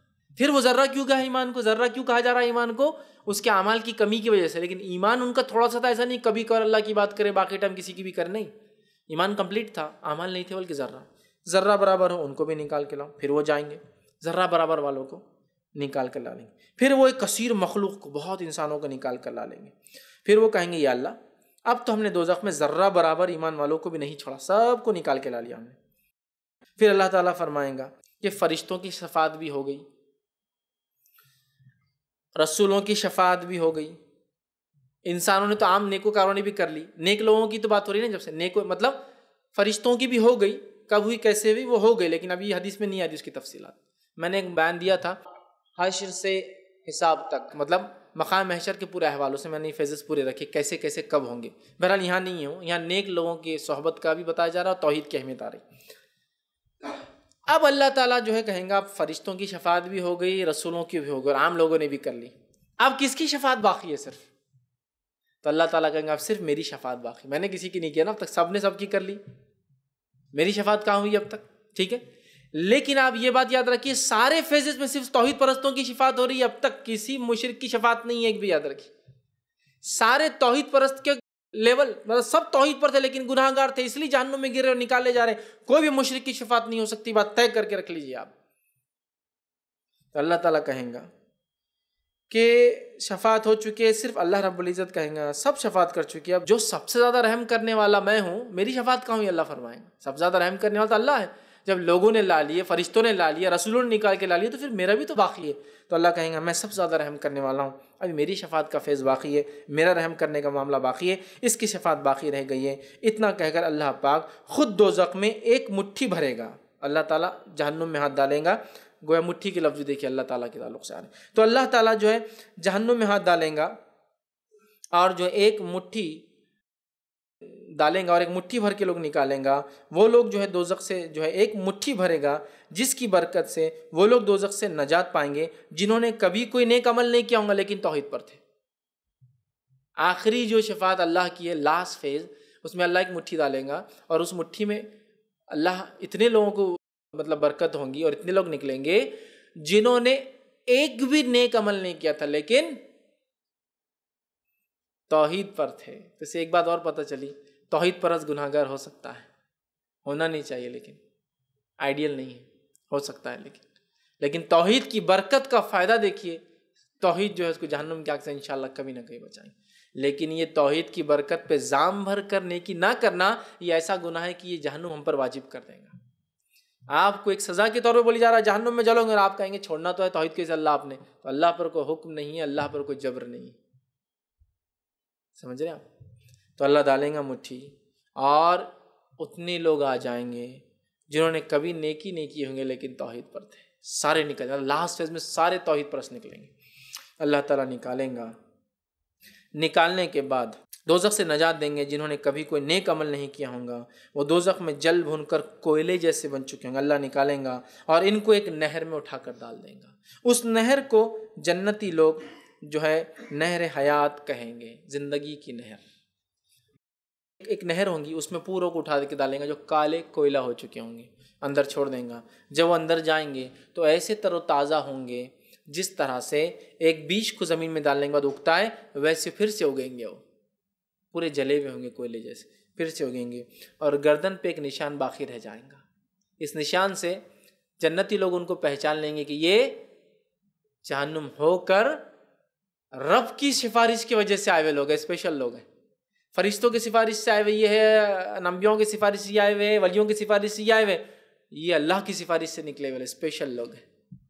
سب سے آخری درجے کے لوگ ہیں، لیکن اسپیشل پرویلیج ہے۔ توحید پر تھے نا، نکالے گئے لاسٹ میں تو ایک نشان ہوگا جس سے ایک روایت میں آتا ہے کہ جنتی لوگ ان کو کہیں گے، اے جہنمی بول کر پکاریں گے۔ اس لیے نہیں پکاریں گے کہ ٹونڈ ماریں گے، اس لیے پکاریں گے کہ اللہ نے کیا فضل کیا تم پر۔ تم کو اپنے اپنے وسیلے سے، اپنی شفات کے ذریعے نکال کے لایا۔ ہے نا؟ تو ان وہ ان کو احساس دلائیں گے اور وہ اللہ کی حمد و ثنا کریں گے۔ بہت بڑا رحم ہو لاسٹ پھر نکال کے اس نہر حیات میں چھوڑ دیں گے اللہ تعالیٰ۔ وہ کوئلے جیسے ہو چکے ہوں گے۔ وہ ایسے اگنے شروع ہوں گے جیسے جھاڑ دانے میں سے لگتا ہے اور بڑا ہو جاتا ہے، وہ پھر سے اگنے لگیں گے۔ ان جہنمیوں کے جو ہے ان کو ایک ایسی نہر میں ڈالا جائے گا جسے جنتی بول چال میں نہر حیات، زندگی والی نہر کہیں گے۔ اس نہر سے اس طرح زندگی پائیں گے جس طرح سے ایک جگہ میں جہاں سیلاب آتا ہے، پانی آتا ہے، اس جگہ پہ جو ہے دانہ اگتے ہیں، اس طرح جو ہے وہ دانے کے جیسا اگیں گے اور موتیوں کی طرح چمکنے لگیں گے۔ ایک دم چمک جائیں گے مطلب وہ کالے تھے تو موتی جائیں۔ ان کی گردنوں میں نشانیاں ہوں گی۔ ان کے لیے جنتی کہا کریں گے کہ یہ خوش نصیب ہے جو اللہ رحمان اور رحیم نے آزاد کیے ہوئے بندے ہیں۔ اس نشان سے پہچان نہیں تم کو اللہ نے آزاد کیا۔ مطلب آخری سفارش میں آزاد ہو کے آئے ہوئے تم لوگ۔ تو وہ اس سے ان کو پہچان لیں گے اور اللہ تعالیٰ سے ان کو کسی نیک عمل کے بغیر جنت میں داخل کر دیں گا۔ صرف ان کی توحید کے وجہ سے، ایک رف کو ماننے کی وجہ سے داخل کیا ہوگا۔ ان سے کہا جائیں گا کہ تمہارے لیے جنت ہے، جو تم دیکھ رہے ہو۔ اور اس کے ساتھ اس کی طرح کی اور بہت سی نعمتیں ہیں جس کا تم فائدہ اٹھا سکتے ہو۔ تو یہ وہ فیزز تھے جن فیزز کے اندر انسان جہنم سے نکل کر جنت میں جائیں گے۔ یہ وہ رحمت الہی تھی جس رحمت الہی کو مقام محشر میں لوگ فائدہ اٹھائیں گے۔ لیکن اس رحمت الہی سے صرف اور صرف وہی فائدہ اٹھا سکتا ہے جو اپنی ساری زندگی توحید پر گزارا ہو۔ ایک اللہ کی عبادت میں گزارا ہو۔ کبھی کسی حال میں شرک نہ کیا ہو۔ چاہے اس کی موت کیوں نہ آ جائے، یا اس کو جانوروں کو کھلا کیوں نہ دیا جائے، یا اس کے ٹکڑے ٹکڑے کر کے آگ میں نہ ڈال دیا جائے، یا اس کو زندہ تیل میں ڈال کے جلا دیا جائے، یا اس کو ایک دہتی ہوئی آگ میں پھینک دیا جائے، اس کو کوئی چیز فرق نہیں پڑی تھی، جس کی وجہ سے اس نے کبھی اپنی توحید میں کمی لائی تھی۔ اللہ ہم پہ رحم کرے ہم اللہ تعالیٰ سے بہت ساری امیدیں کرتے ہیں کہ اللہ ہمیں جنت دے، لیکن اللہ تعالیٰ کی توحید جو سب سے بڑی بیس ہے، صرف توحید پرس پہ اللہ رحم کریں گا، ان کی شفاعت کریں گا، ان کے لیے فرشتے شفاعت کریں گے، ان کے لیے نیک لوگ شفاعت کریں گے، ان کے لیے رسول، انبیاء صلحہ شہدا سب سفارش کریں لیکن ان کا ہونا توحید پرس ضروری ہے۔ اس کے بغیر کسی کی سفارش اور شفاعت کسی کے حق میں قبول نہیں ہونے والی ہے۔ تو آج ہم اتنے وہ ہے کہ تھوڑی سی بیماری آ جائے تو مختلف شرک کو اپنا شیوا بنا لیتے ہیں اور پھر امید نہیں آخرت میں جنت ملیں گی۔ ارے آپ تو توحید پرست ہے بیمار ہو گئے تو توحید گئی ایک طرف۔ ابھی تو تعویذ کا سلسلہ ہے۔ ابھی تو یہ سلسلہ ہے، ابھی تو جھاڑ پھونک کے سلسلے چالو ہے ابھی تو فلاں کے سلسلے چالو ہے ابھی تو گھس کے کھانے کے، ملنے کے، چپکانے کے، لٹکانے کے اور ٹھوکنے کے سلسلے چالو ہے اس لیے کہ یہ سب کرنا ہے نا ابھی۔ ٹھیک ہے، ہم توحید پر لیکن اب بیمار ہے نا۔ اصحاب اقدود کو یاد نہ کیا، ایک کے بعد ایک گڑھوں میں جس میں آنکھ دہ کر اس میں پھینکے جا رہے ہیں۔ اگلا گرتا ہے، پچھلا کھڑا رہ کہتا ہے، توحید پہ رہوں گا، میں پھینکنا پھینک تو اٹھا کے پھینک دے جاتا ہے۔ ایمان سے نہیں پھرتے۔ بھوکے شیروں کے سامنے ڈال دی جاتے ایمان سے نہیں پھرتے۔ سمجھ رہے آپ؟ ان کی عزتیں لوٹ لی گئی، ان کے بچوں کو مار دیا گیا، ایمان سے نہیں پھرے، کچھ بھی ہو جائے۔ یہ نہیں کہا کہ اللہ میرے ساتھ ہونا تھا، کیا اتنی توحید پرست ہو کہ میری عزت گئی، میرے بچے گئے؟ نہیں، یہ نہیں سوچتے تھے وہ۔ ایک اللہ کو ماننے والے تھے۔ چاہے عزت جائے، چاہے اولاد سامنے قتل کر دی جائے، چاہے آگ میں ڈال دی جائے زندہ اٹھا کر، وہ فرق نہیں پڑتا ان کو، ان کی توحید میں کوئی خلل نہیں آتا ہے۔ یا زندہ ہے، ان کی کھالے نکال لی جائے، ان کو فرق نہیں آتا ہے۔ زندہ ہے، اپنے دھڑکتے ہوئے دل کو دیکھتے ہیں۔ معلوم آپ تعجب کریں گے، زندہ آدمی کیسے اپنے دھڑکتے دل کو دیکھیں گا؟ آپ نہیں جانتے رومی لوگ جب لوگ عیسیٰ علیہ السلاۃ والسلام کی دعوت پر ایمان لائے، وہ لوگوں کو لاتے جو ایمان والے اور لانے کے بعد زندہ انسان کا سینہ چیر دیتے تھے جس سے دل دھڑکتا ہوا رہتا، آدمی مرتا نہیں، معلوم آپ کو؟ اور اس کے بعد اس کی نظروں کے سامنے اس کا دل شہرک اس کی کاٹ دی جاتی تھی اور مر جاتا تھا۔ لیکن وہ چیز بھی اس کو ایمان سے نہیں پھیرتی تھی۔ اس کو کوئی پرواہ نہیں تھی اس سے کہ زندہ شیروں کے سامنے ڈالا جاتا ہے، گرم کرسی پہ ہاتھ پر باندھ کے نیچے سے آگ لگا دی جاتی ہے، لوہے کی کرسی پر، جو گرم ہو کے آدمی وہیں مر جاتا ہے۔ ان کو کوئی فرق نہیں پڑتا۔ یا ایک بیل ہے جو تانبے کا بنایا جاتا تھا، اس کے اندر انسان کو ڈالا جاتا تھا اور نیچے سے آگ لگا دی جاتی تھی۔ اس وہ مر جاتے تھے اندر، چلا چلا کے۔ لیکن وہ چیز ان کو ایمان سے نہیں پھیرتی تھی۔ اپنے دل کو زندہ انسان دھڑکتے ہوئے دیکھ رہا ہے موت سے پہلے، لیکن وہ چیز ان کو توحید سے نہیں پھیرتی تھی۔ توحید ان کی نہیں چھوڑتی تھی۔ تو تب ان کو انشاءاللہ عزیز ایسے لوگوں کو، جنہوں نے اپنی توحید کو سب کچھ کیا اور رب کے ساتھ کبھی شریک نہیں کیا، کسی اور کو اپنا معبود اور ڈیٹی یا گاڈ نہیں بنایا۔ ان لوگوں کے لیے یہ فائدہ ہے کہ روز قیامت اگر عمل نہ بھی کیے ہوں گے تو جنت میں جائیں گے، چونکہ انہوں نے توحید پر اپنی زندگیاں گزاری اور اسی پر ان کا خاتمہ ہوا۔ یہ اصل چیز ہے۔ یہ اصل چیز ہے۔ ہو سکتا ہے زندگی کسی کی شرک پہ گزری ہو، مختلف مذہب میں پیدا ہوا ہو، مختلف فرقوں میں پیدا ہوا ہو لیکن مرا وہ توحید پر۔ اصل یہ ولا تموتن اللہ ون مسلمون۔ مرنا مت مگر ایمان تخوے کے ساتھ، ایمان والا۔ مرنا مت۔ پیدا کہیں بھی ہوا گا تم، یہود ہو، نصارہ ہو، ہنود ہو یا کوئی اور مذہب میں ہو، وہ مسئلہ نہیں ہے۔ بس مرنا مت لیکن مرنا مسلمان، ایمان کے ساتھ۔ بس یہ اصل ہے۔ کسی قوم، کسی نسل میں تو توحید پرستوں کو ہی آخرت کی ساری نعمتیں ہیں۔ تو مقام محشر میں رحمت الہی کا ایک منظر اور توحید۔ یہ آج کا میرا عنوان تھا۔ میں دعا کرتا ہوں کہ اللہ رب العزت ہم تمام کو ان لوگوں میں شامل کر، جو پہلے مرحلے میں جہنم سے نجات پا کر جنت میں جانے والے بنے۔ اور اگر ہماری کوئی خطائے اور گناہ ہوئے ہیں، تو دنیا میں ہمیں توفیق دے کے ہم اس سے معافی مانگ لے۔ اور ایسے لوگوں کی صحبت ہمیں عطا فرما، جو لوگ اگر اللہ تو نہ کرے، لیکن اگر ہم جہنم میں چلے جائیں تو یہ ہماری سفارش اور شفاعت کرے، جس کی وجہ سے ہم جہنم سے نکل کر آزاد ہو جائیں اور ہمیں جو ہے دنیا کے اندر تیرے کہے کے مطابق زندگی گزارنے کی توفیق عطا فرما۔ ہماری موت کو جو ایمان اور کلمے کے ساتھ ہمیں نصیب فرما اور آخرت میں ہمیں نیک و کاروں کے ساتھ جنت میں اعلیٰ سے اعلیٰ مقام عطا فرما۔ جب تک ہمیں زندہ رکھ، ایمان اور اسلام پر زندہ رکھ، خاتمہ ایمان پر ہو۔ واخر داوان الحمد للہ رب العالمین۔ سبحان ربک رب العزت عما صفون وسلام المرسلین والحمد للہ رب العالمین۔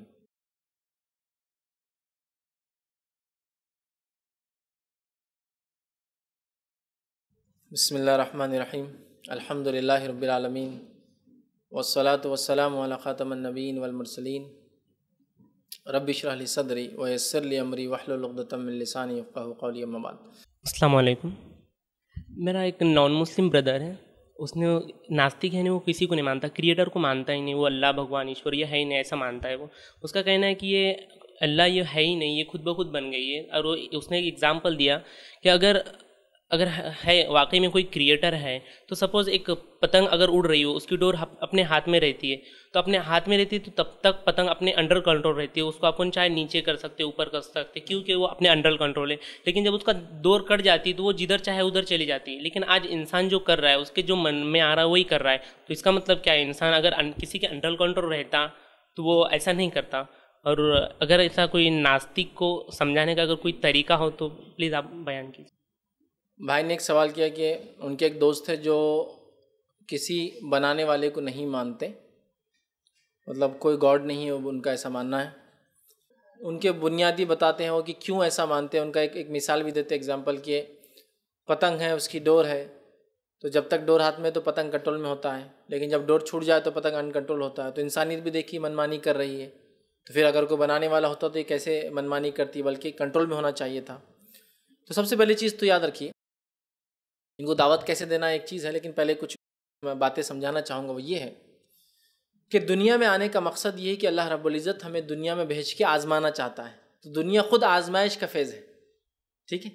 اگر دنیا یہ فیض ہوتا کہ شرک کرتے اللہ موت دینا چاہتا دے دیتا، کہ بھائی کوئی شرک کرا اسی دن موت دے دیتا اللہ اس کو۔ پوری دنیا پھر کنٹرول میں رہتی نا، ایک کو مرتا ہوا دیکھ کر کیا کبھی کوئی ہمت کرتا کہ وہ جو ہے شرک کرے؟ نہیں، ایک آدمی نے شرک کرتے اللہ اگر اس کو موت دے دیتا تو آدم علیہ السلام کی اولاد میں سے کوئی شرک کرتا ہی نہیں نا پھر۔ تو دنیا آزمائش ہے۔ ٹھیک ہے؟ دنیا آزمائش ہے تو اس کو یہ کہیے آپ کہ جو آپ اگزامپل دے رہے ہیں کہ اگر ڈور کنٹرول میں رہی پتنگ کی تو پتنگ اپنے کنٹرول میں رہتا۔ تو دنیا تو آزمائش ہے، اللہ نے دے دیا۔ اس میں بھی ڈور اللہ کے پاس ہے بہت ساری چیزوں کی بارش، جب وہ چاہا تو ہی برستی ولنا نہیں چاہا تو نہیں ہوتی۔ کچھ چیزیں تو اس کے پاس ہی ہے لیکن کچھ چیزوں میں انسان کو اس نے فری ول دیا تاکہ اس فری ول سے انسان دنیا میں جیے اور جانے کے بعد رب کے پاس کوئی کوشچن نہ ہو اس کے پاس کہ مجھے تو موقع نہیں ملا تھا۔ اللہ نے موقع دے دیا اچھے اور برے دونوں کرنے کا۔ اور وہ جو کرنا چاہتا ہے اس کو فری ول ہے اس معاملے میں اچھائی اور برائی کے معاملے میں۔ پھر وہ کر کے آتا ہے اور اس کے بعد اللہ تعالیٰ پھر اس کو سزا اور جزا دیتا ہے کہ آپ کو کھلی چھوٹ اور آزادی دینے کے بعد آپ کیا کر کے آئے۔ ٹھیک ہے؟ تو یہ اللہ کی دیوی چھوٹ ہے۔ پتنگ کو تھوڑی بہت ڈھیل اللہ نہیں دی بولنا یہ۔ تاکہ آزما یہ پتنگ کیا کرتی ڈھیل دینے کے بعد؟ کیونکہ اگر فل کنٹرول میں ہوتی تو پھر دنیا میں بھیجنے کی ضرورت نہیں تھی۔ اللہ کیا کرتا؟ عالم ارواح میں سارے انسانوں کو پیدا کرتا اور جو عبادتیں لینا لے لیتا۔ دنیا میں کیوں بھیجتا پھر؟ تو اللہ نے خود ڈھیل دی ہے بولنا۔ اس کا مقصد یہ کہ مانو کیسے کاریہ کر کے آتا ہے، مانو کیا کام کر کے آتا ہے۔ انسان کیسا کرتا ہے جب اس کو فری ول دی جاتی ہے، ڈھیل دی جاتی ہے۔ پہلی چیز۔ دوسرا یہ کہ بنانے والا نہیں ہے، کیوں نہیں ہے؟ تو ڈھیل وہ مثال دے رہے کہ پتنگ کٹی ہوئی تو کہیں بھی جاتی ہے، اس لیے انسانیت کہیں بھی جا رہی ہے، اس کا مطلب کوئی بنانے والا نہیں دیکھیے، کوئی اگر مال کے اندر چوری ہو جائے تو کیا اس کو بنانے والا نہیں اس کے اندر لوگ مال کو اٹھا کے لے کے بھاگنا شروع، اس کا مطلب کوئی بنانے والا نہیں ہے۔ اللہ، کسی سسٹم میں کوئی خرابی آ جائے تو اس کا مطلب یہ تھوڑی کہ سسٹم کا کوئی کریٹر نہیں ہے۔ جیسا وہ کہہ رہا ہے، پتنگ کو ڈھیل ہے جاری کدھر بھی اس کا مطلب بنانے والا نہیں یہ ایگزامپل صحیح نہیں ہے بولنا۔ جب میں کالج لائف میں تھا، تو میرے ساتھ ایک واقعہ ہوا۔ میں نے ان کو سمجھانے کے لیے ایک کام کیا تھا کہ کچھ اسٹوڈنٹس نے ہمارے دوستوں سے کہا رہے کوئی کریٹر ویٹر نہیں، بنانے والا نہیں، اللہ واللہ، کوئی گاڈ واڈ نہیں ہے۔ سب بس یوں ہی چل جا رہا ہے، ٹھیک اور وہ مذاق اڑاتے تھے مسلمان بچوں کا۔ تو ایک مرتبہ میں نے پلان بنایا ہمارے کچھ مسلم دوستوں کے ساتھ کہ کل جا کے باتیں کریں گے ان کے پاس۔ لیکن آپس میں بات کریں گے، ان سے نہیں کریں گے۔ اور ان کے ریئیکشنز دیکھیں گے۔ ہم نے کیا پلان کیا؟ ہم نے پلان کیا کہ کل جا کے ہم بات کریں گے۔ اور کیا بات تھی؟ وہ یہ تھی۔ وہ لوگ سن رہے تھے غیر مسلم، جو اللہ کو نہیں مانتے تھے کہ بنانے والے کریٹر گاڈ کوئی ڈیٹی کوئی بنانے والا جس کو پکارا جاتا ہے، جسے مانگا جاتا ہے، کوئی نہیں جو مانتے تھے۔ ہم گئے وہاں بیٹھے اور بیٹھ کر ایک پری پلان انداز سے بات کی کہ ایک نے دوسرے کان میں کہا کہ ہمارے ایریے میں ایک مال کھلی ہے۔ سپر مال سپر بازار مارکیٹ اچھا اچھا کیا مال کھلا ہے؟ مال یہ ہے کہ صبح اس کو کوئی کھولتا نہیں، لیکن وہ خود کھل جاتا۔ رات میں کوئی بنتا نہیں لیکن خود کلوز ہو جاتا۔ کپڑے لے کر آؤ، سامنے رکھو، بلنگ خود ہو جاتی، چھٹے پیسے خود مل جاتے۔ کاؤنٹر پہ کوئی بیٹھا ہوا نہیں ہوتا ہے۔ مال ختم ہو گیا تو خود آرڈر ہو جاتا۔ ٹھیک ہے؟ مال زیادہ ہو گیا، دوسرے مال آفس میں، اور آپس میں بات کرو۔ پیچھے وہ لوٹ رہے پورے ہنس ہنس کے۔ بعد میں بولنے لگے، بھائی بہت ہو گیا، بولے تمہارا پیچھے والے۔ بہت ہو گیا تمہارا، تم پاگل ہے کیا؟ تم کچھ عقل ہے؟ بولے مال کیسا چل سکتا کوئی بنانے والے کے بغیر؟ اب چونکہ ہمارا پلان پہلے سے تھا، تو ہم نے کہا کیوں؟ پورا یونیورس چل سکتا بغیر بنانے والے کے، اور مال نہیں چل سکتا۔ ایسا کیسے نہیں ہو سکتا؟ جب پوری کائنات بغیر بنانے والے کے چل سکتی، تو پھر مال کیوں نہیں چل سکتا ہمارا؟ تو ان کو بات سمجھ میں آ گئی۔ اگر کوئی انسان یہ کہے کہ میرے پاس موبائل ہے، اور آپ کو معلوم ہے موبائل کیسے ملا مجھے؟ کیسے ملا؟ میری گاڑی تھی، ریگستان نے پارک کی ہوئی تھی۔ میرے گاڑی کے انجن میں سے آئل ٹپک رہا تھا۔ آئل ٹپکتے گیا ٹپکتے گیا۔ ٹپکتے گیا، طوفان آیا، آندھی آئی، ہوا چلی اور اس کے بعد وہ سارے کے بعد جب میں گیا تو ہینڈ سیٹ وہاں بناؤ پڑا تھا۔ ایسا کیسا؟ ہاں ہینڈ سیٹ کیا ہے mobile? Silica, silicon chipset, computer میں چپ سیٹ، سلیکا یا سلیکن کیا ہوتا ہے مان ہم کو؟ مٹی کو کہتے ہیں۔ اور پلاسٹک پلاسٹک کیا ہے؟ آئل۔ آئل کا ایک ڈیریویٹو پلاسٹک ہے، آپ کا انک ہے، وہ ساری چیزیں۔ تو وہ آئل گر رہا تھا، نیچے مٹی تھی ریئیکشنس ہوئے چپ سیٹ بھی بن گیا اور آئل کی وجہ سے کورنگ بن گئی موبائل بھی بن گیا اور کمپنی کا برانڈ نیم بھی آ گیا سم کارڈ بھی تھا ڈائل کرتے نمبر لگنا شروع ہو گیا۔ یہ کہتا خود بخود۔ نیچرل ہو گیا خود بخود۔ ارے ایسے ہاں بس ہو گیا خود بخود۔ بن گیا۔ یقین ہوں گا آپ کو ایک موبائل کے بارے میں۔ موبائل جیسی چیز ہے، ادنا ہے یہ۔ کیوں؟ تو ابھی اس سے سوفسٹیکیٹڈ چیزیں دنیا میں ہے یقین نہیں ہوں گا۔ آئیے ہو کر ایگزامپل لیجیے۔ ایک جنک یارڈ تھا۔ جنک یارڈ سمجھتے نا؟ جب گاڑیاں جو استعمال کے لائق نہیں ہوتی ہے، انڈیا میں نہیں ہوتا ایسا۔ انڈیا میں تو ماشاء اللہ کتنی پرانی رو استعمال ہو جاتی ہے۔ اس کے علاوہ ریسائکلنگ اچھی ہو جاتی ہے، لوگ سیکنڈ ہینڈ پرچیز کر، لیکن آپ یوروپ امریکہ میں جائیں گے، جن کی اکنامیاں سود پر ہوتی ہے، تو ان کو نیا نیا بنانا پڑتا ہے ہر بار۔ ہر چھ مہینے میں لوگوں کو چینج کروانا پڑتا ہے، ورنہ اکنامی چلیں گی کیسے؟ تو وہاں ہوتا ہے کہ تھوڑی دن گاڑی پرانی ہوگی تو جنگ یارڈ ایک علاقہ ہوتا ہے، وہاں گاڑیوں کو پار کرتے، ایک پہ ایک تھپی ڈال دیتے، کرش کر دیتے، بیکار ہو جاتی۔ حالانکہ کچھ گاڑیاں ایسی کہ چلتی ہوئی آتی ہے اور کھڑے کر کے چلا جاتا آدمی۔ نئی گاڑیاں، سال، دو سال پرانی۔ اب اگر میں یہ کہوں کہ میں جو ہے نا ایک کل ایک ٹریول کر کے آیا، میں یورپ گیا تھا اور ٹریول کر کے آیا اور ایک جہاز میں میں سفر کر کے آیا، ہوائی جہاز میں سفر کر کے آیا، لیکن یہ ہوائی جہاز بہت الگ تھا۔ کیسا الگ تھا؟ ایک جنک یارڈ تھا، اس میں ہوا یہ کہ پانچ دس سال گاڑیاں کھڑی رہی، طوفان آئے، آندھی آئے، گاڑیاں اوپر ہوئی، نیچے ہوئی، ادھر ہوئی ادھر ہوئی تبدیلی آئی فلاں ہوئی اور ایک دم، ایک دن جب جنک یارڈ میں گئے تو ایک بوئنگ کھڑا ہوا تھا بن کے۔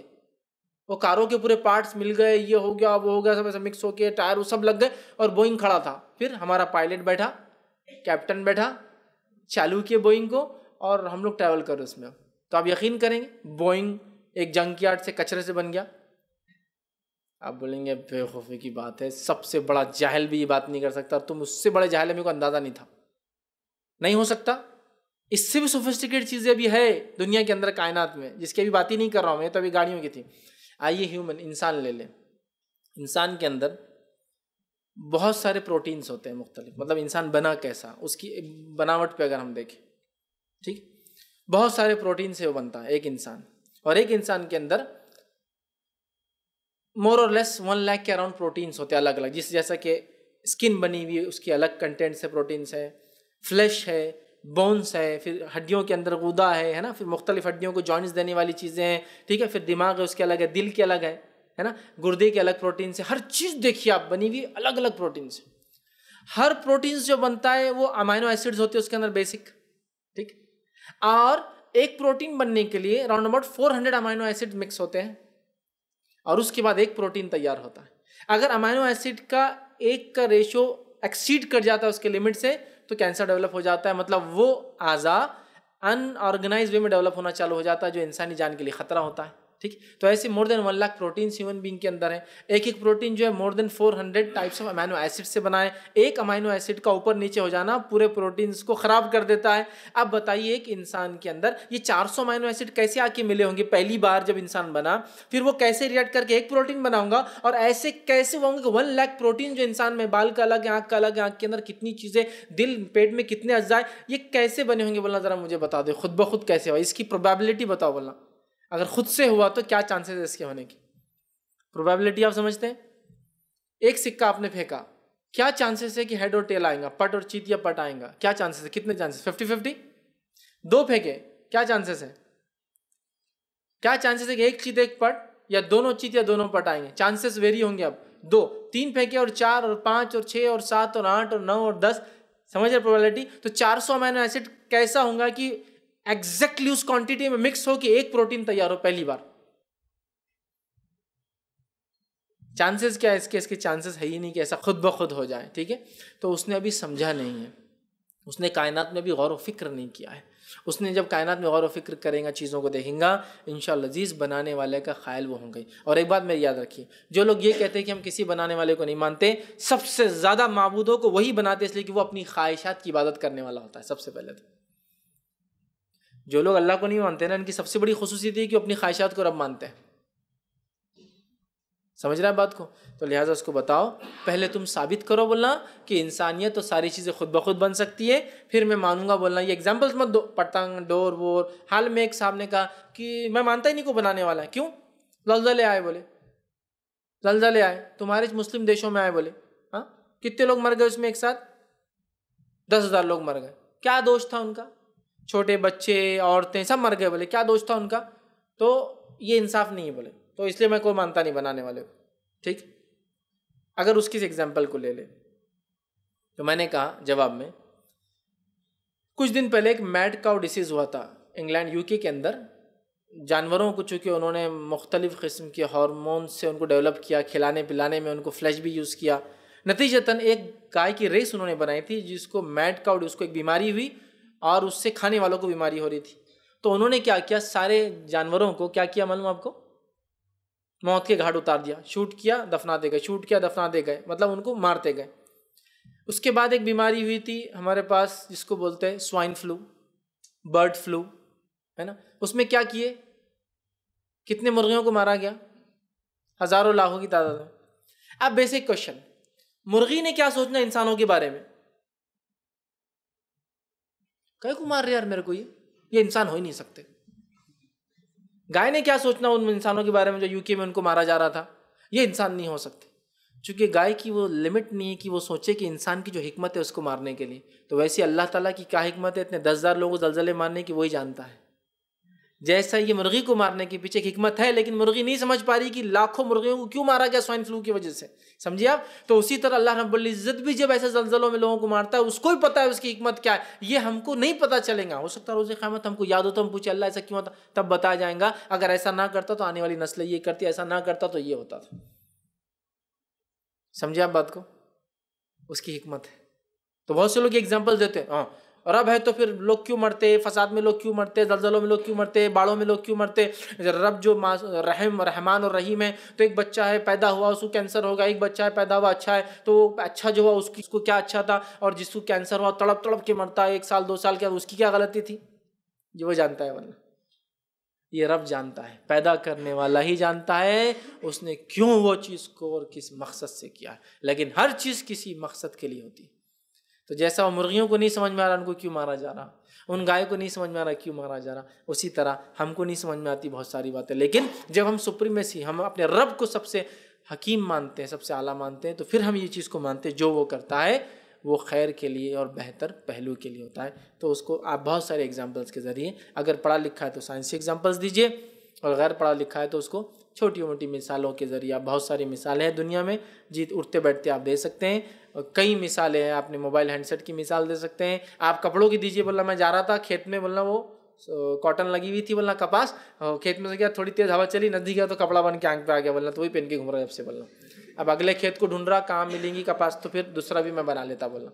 یقین کریں گا اس کے سامنے ایک مینگو ڈرنک پیجیے اور بولنا، یہ معلوم کہ میں وہاں گیا بول رہا ہوں کھیت میں گیا، کاغذ اڑا، اڑ کے گیا، ہوا چلی، آندھی طوفان چلی، وہ آم کو نکالا تو یہ لٹکا ہوا تھا، بولنا۔ میں نے وہیں سے ڈبا ڈائریکٹ توڑ کے پی رہا بولنا پاگل ہوا کہ بن ہی نہیں سکتا، اس کو پروسیس کرنا پڑتا، انسان رہتے، یہ لاتے تو جب بولنا اتنا جوس کا ڈبا نہیں بنتا اور تو بولنا پوری کائنات چل رہی ان لاجیکل ایکسپلینیشن دو بولنا مجھے پھر اس کا اور وہ نہیں دے پائیں گے۔ آپ مت دیجیے جواب، اس سے مانگیے جواب۔ اپنے سوالات کا یہ تو ان شاء اللہ عزیز جی، اس کو یہ بات سمجھ میں آ جائے۔ ان شاء اللہ کسی نے سوال کیا ہے کہ میرا سوال یہ ہے کہ میرے اپنے فادر کو علاج کے لیے یہاں لائی ہوں، میرے مائکا دور ہے اب کہنا یہ ہے کہ میں اپنے گھر میں لا کر اپنے فادر والد کا علاج کر کے شوہر پر کوئی زبردستی تو نہیں کر رہی ہوں جبکہ وہ خود اپنی مسائل میں مبتلا ہے۔ بس مجھے اتنا بتائیں کہ میں شوہر پر ظلم تو نہیں کر رہی ہوں جبکہ وہ میرے ذمہ دار ہیں۔ سب سے پہلے تو ہم بہر اللہ تعالیٰ سے دعا کرتے ہیں کہ اللہ تعالیٰ آپ کے والدین کو شفا شفا دے۔ دوسرا یہ، کیا آپ کے والدین کو جو آپ فادر کو لا کر اپنے شوہر کے گھر رکھ رہے چونکہ ان کا گھر دھو رہے اور علاج کے لیے دواخانہ یہاں نزدیک ہے، تو کیا یہ ظلم ہے؟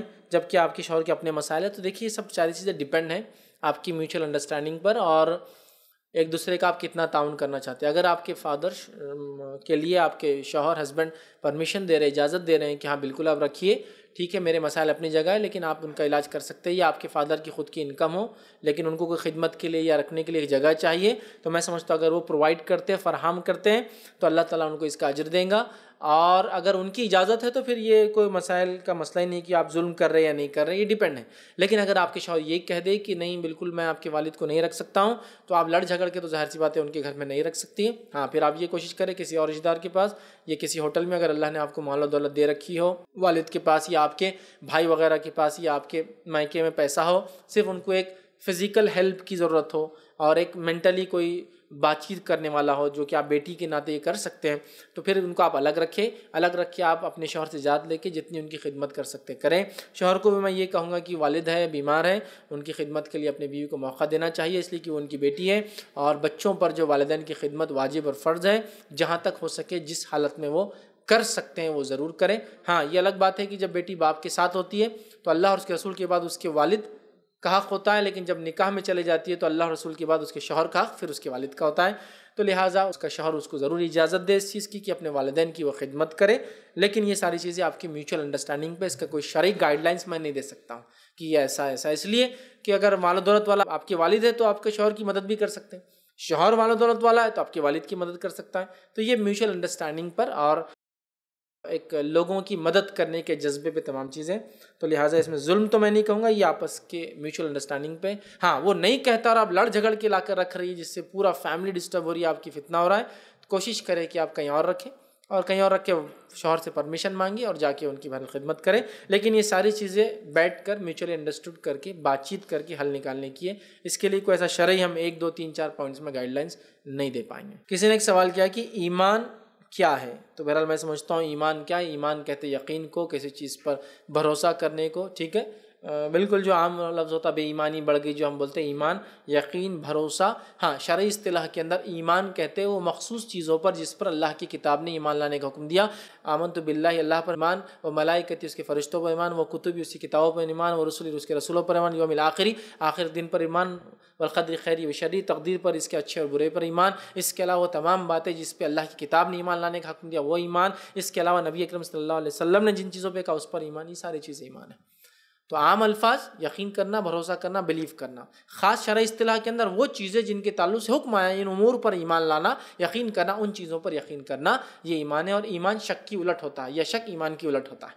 ایمان مطلب یقین، بھروسہ اور شک مطلب ایمان کے مخالف ہوتا ہے مطلب کسی چیز میں آدمی یقین نہیں کرتا ہے۔ ٹھیک ہے؟ تو یہ ایمان ہے۔ آگے وہ پوچھتے شرک اکبر اور شرک اصغر کیا ہے؟ شرک اکبر وہ شرک ہے جس کے کرنے سے انسان اسلام کے دائرے سے باہر ہو جاتا ہے، اور شرک اصغر وہ شرک ہے جسے کرنے سے اسلام میں باقی ہوتا ہے، اس کو توبہ کرنا پڑیں گے اللہ سے۔ جیسے کہ دکھاوا شرک اصغر ہے، لیکن دکھاوا کرنے سے انسان اسلام سے باہر نہیں جاتا ہے، اسلام میں ہوتا ہے۔ توبہ کرنا ہے۔ لیکن شرک اکبر یہ ہے کہ انسان یہ کہے کہ میں بتوں کو اپنا معبود بنا رہا ہوں۔ تو شرک اکبر ہے، اس نے اللہ کا انکار کر دیا۔ لیکن شرک اکبر، شرک اصغر، شرک جلی، شرک خفی، یہ ساری چیزیں اصطلاحات علماء نے شرک کو سمجھانے کے لیے باندھ دیا۔ لیکن شرک تو شرک ہے۔ بات سمجھ رہا تو لہٰذا ہر اعتبار سے ہمیں شرک سے بچنے کی کوشش کرنا چاہے تو اکبر کہتے وہ شرک، جس سے اسلام سے باہر ہو جاتا ہے۔ اصغر کہتے وہ شرک، جس کے کرنے سے اسلام میں باقی ہوتا ہے۔ اس کا کفارہ دے دے یا توبہ کر لے یا اس کا کبھی کبھار ہوتا ہے کہ اس کے بدل میں یہ کرے۔ جیسا کہ غیر اللہ کی قسم کھا لی تو لا الہ الا اللہ پڑھ لے، یہ اس کا کفارہ ہو گیا۔ ٹھیک ہے؟ تو کسی کا کفارہ دے دے تو وہ آ جاتا ہے، کسی کے لیے توبہ، دکھاوا کر لیا، توبہ کر لے، معاف ہو جاتا ہے۔ تو یہ کرنے سے ہو جاتا ہے شرک اکبر، اسلام سے خارج ہو جاتا ہے انسان۔ لہٰذا لیکن توبہ اس کے لیے بھی یاد رکھی۔ کرنے کے بعد توبہ کر لے۔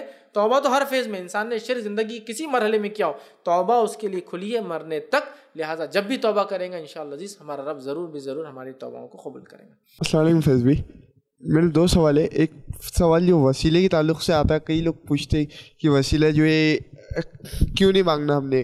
بھائی، جبرائیل علیہ السلام نے جو آپ صلی اللہ علیہ وسلم پہ جو وہی لائے، وہ بھی ایک وسیلہ تھا اللہ کی طرف سے، تو یہ آخرت میں بھی ایک شفات ہے جو قرآن میں آپ صلی اللہ علیہ وسلم کی طرف سے ہونے والی۔ اب یہ جو باقی ہوتے وسیلے، تو اس کا کیا ہے؟ بھائی نے ایک سوال کیا کہ وسیلے کے تعلق سے کہ جبر علیہ السلام وہی لے کر آئے، وہ وسیلہ بنے بیچ میں وہی کے لیے۔ تو پھر ہم وسیلہ دنیا میں کیوں نہیں لے سکتے ہیں نا؟ یہی کیوں ہوتا مطلب جو وسیلے لوگوں کرتے ہیں۔ دیکھیے، اللہ رب العزت نے جو وسیلے بتایا کہ یہ لوگ وسیلہ بنیں گے، ٹھیک ہے؟ تو وسیلے کا پورا ریئل کانسیپٹ میں نے آپ کو رکھ دیا۔ وسیلہ در حقیقت کسی انسان یا فرشتے کی خود کی ذات سے ہونے والی چیز نہیں ہے۔ وسیلہ یا شفاعت جس کو کہتے ہیں، اللہ تعالیٰ کچھ لوگوں کو یا فرشتوں کو کچھ لوگوں کے لیے وسیلہ بنائیں گا۔ یہ وہ لوگ ہوں گے جن کے لیے ان فرشتوں کو اللہ بندوں کو وسیلہ بنائیں گا اپنے۔ جن لوگوں کو اللہ طے کر چکا ہوں کہ مجھے معاف کرنا ہے، لیکن معاف کرنے کے لیے ان لوگوں کو بیچ میں رکھیں گا تاکہ ان کا مقام لوگوں کو پتہ چلے، ان کی فضیلت لوگوں کو پتہ چلے۔ اور رحم اور کرم تو اللہ کی طرف سے تھا، فیصلہ تو اللہ کا ہی تھا۔ جیسے اس کی مثال دیتا ہوں نبی اکرم صلی اللہ علیہ وسلم فرماتے ہیں، روز قیامت جب لوگ میرے پاس آئیں گے، میں اللہ کے سامنے سجدے میں گر جاؤں گا، سجدے میں وہ کلمات پڑھوں گا جو میرا رب میرے دل میں ڈالیں گا، مجھے سکھائیں گا، اتنی دیر پڑھوں گا، جتنی دیر میرا رب چاہیں گا پڑھوں گا، اس کے بعد اللہ کہیں گا، اے محمد صلی اللہ علیہ وسلم، اٹھو، سفارش کرو، قبول کی جائیں گی اور مجھے بتا دیا جائے گا کتنی تعداد کی سفارش کرنا ہے، پھر میں اتنوں کی سفارش کروں گا۔ اس کے بعد وہ لوگ جہنم سے نکل جائیں گے، پھر میں سجدے میں گر پڑوں گا، اتنے دیر گر پڑوں گا، جتنی دیر میرا رب چاہیں گا، وہ کلمات ادا کروں گا۔ جو میرا رب چاہیں گا۔ پھر مجھے حکم گا، اے محمد صلی اللہ علیہ وسلم، اٹھو، سفارش کرو، قبول کی جائیں گی۔ اور پھر مجھے بتا جائیں گا کتنے لوگوں کی سفارش کرنا ہے۔ سمجھا آپ بات کو؟ تو نبی جو سفارش کر رہے ہیں، اس کو بھی اللہ بتائیں گا کتنے لوگوں کی کرنا ہے۔ گویا اللہ ہی بتائیں گے نا کتنوں کی کرنا ہے۔ پھر آپ کہیں گے سفارش کی ضرورت کیا ہے؟ یہاں نبی اکرم صلی اللہ علیہ وسلم کا مقام بتانا مقصود ہے۔ فرشتوں سے اللہ کروائیں گا شہدا سے اللہ کروائیں گا، بچوں سے اللہ کروائیں گا، وہ بچے جو بالغ ہونے سے پہلے مر گئے۔ جنت کے دروازے حدیث میں کھڑے رہیں گے، جائیں گے نہیں اندر، اپنے والدین کو وسیلہ بنیں گے۔ تو یہ، تو سفارش جو ہے، سفارشی کون ہوں گا؟ یہ اللہ طے کریں گا۔ یہاں ہمارا مسئلہ یہ، سفارشی ہم نے پہلے سے طے کیے ہوئے، تم بن جانا میرے۔ انہوں بننے والے میرے۔ اللہ طے کریں گے یا تم طے کرو گے، اپوائنٹ کرو گے کون کیا بنے گا؟ بولو۔ تو ہماری سفارش کا پرابلم یہ ہے، ہم عقیدہ سفارش کے منکر نہیں ہیں، ہم وسیلے کے منکر نہیں ہیں، لیکن جو وسیلہ اور جو سفارش کی آپ بات کریں، جو غیر شرعی ہے، میں دنیا میں کوئی نیک کام ہی نہیں کروں گا، پھر وسیلے سے چلے جاؤں گا ان کے۔ یہ کون سا وسیلہ ہے؟ یہ کون سا وسیلہ ہے؟ سمجھا؟ یہ غلط ہے۔ میں خود طے کر لوں گا کہ یہ صاحب میرے الف، میرے سفارشی ہوں گے روز قیامت۔ اللہ نے طے کیا کہ انہوں ہوں گے، انہوں کا ہوں گے، وہی نہیں پتا بھی ان کو، اور آپ طے کر رہے کہ انہوں ہوں گے۔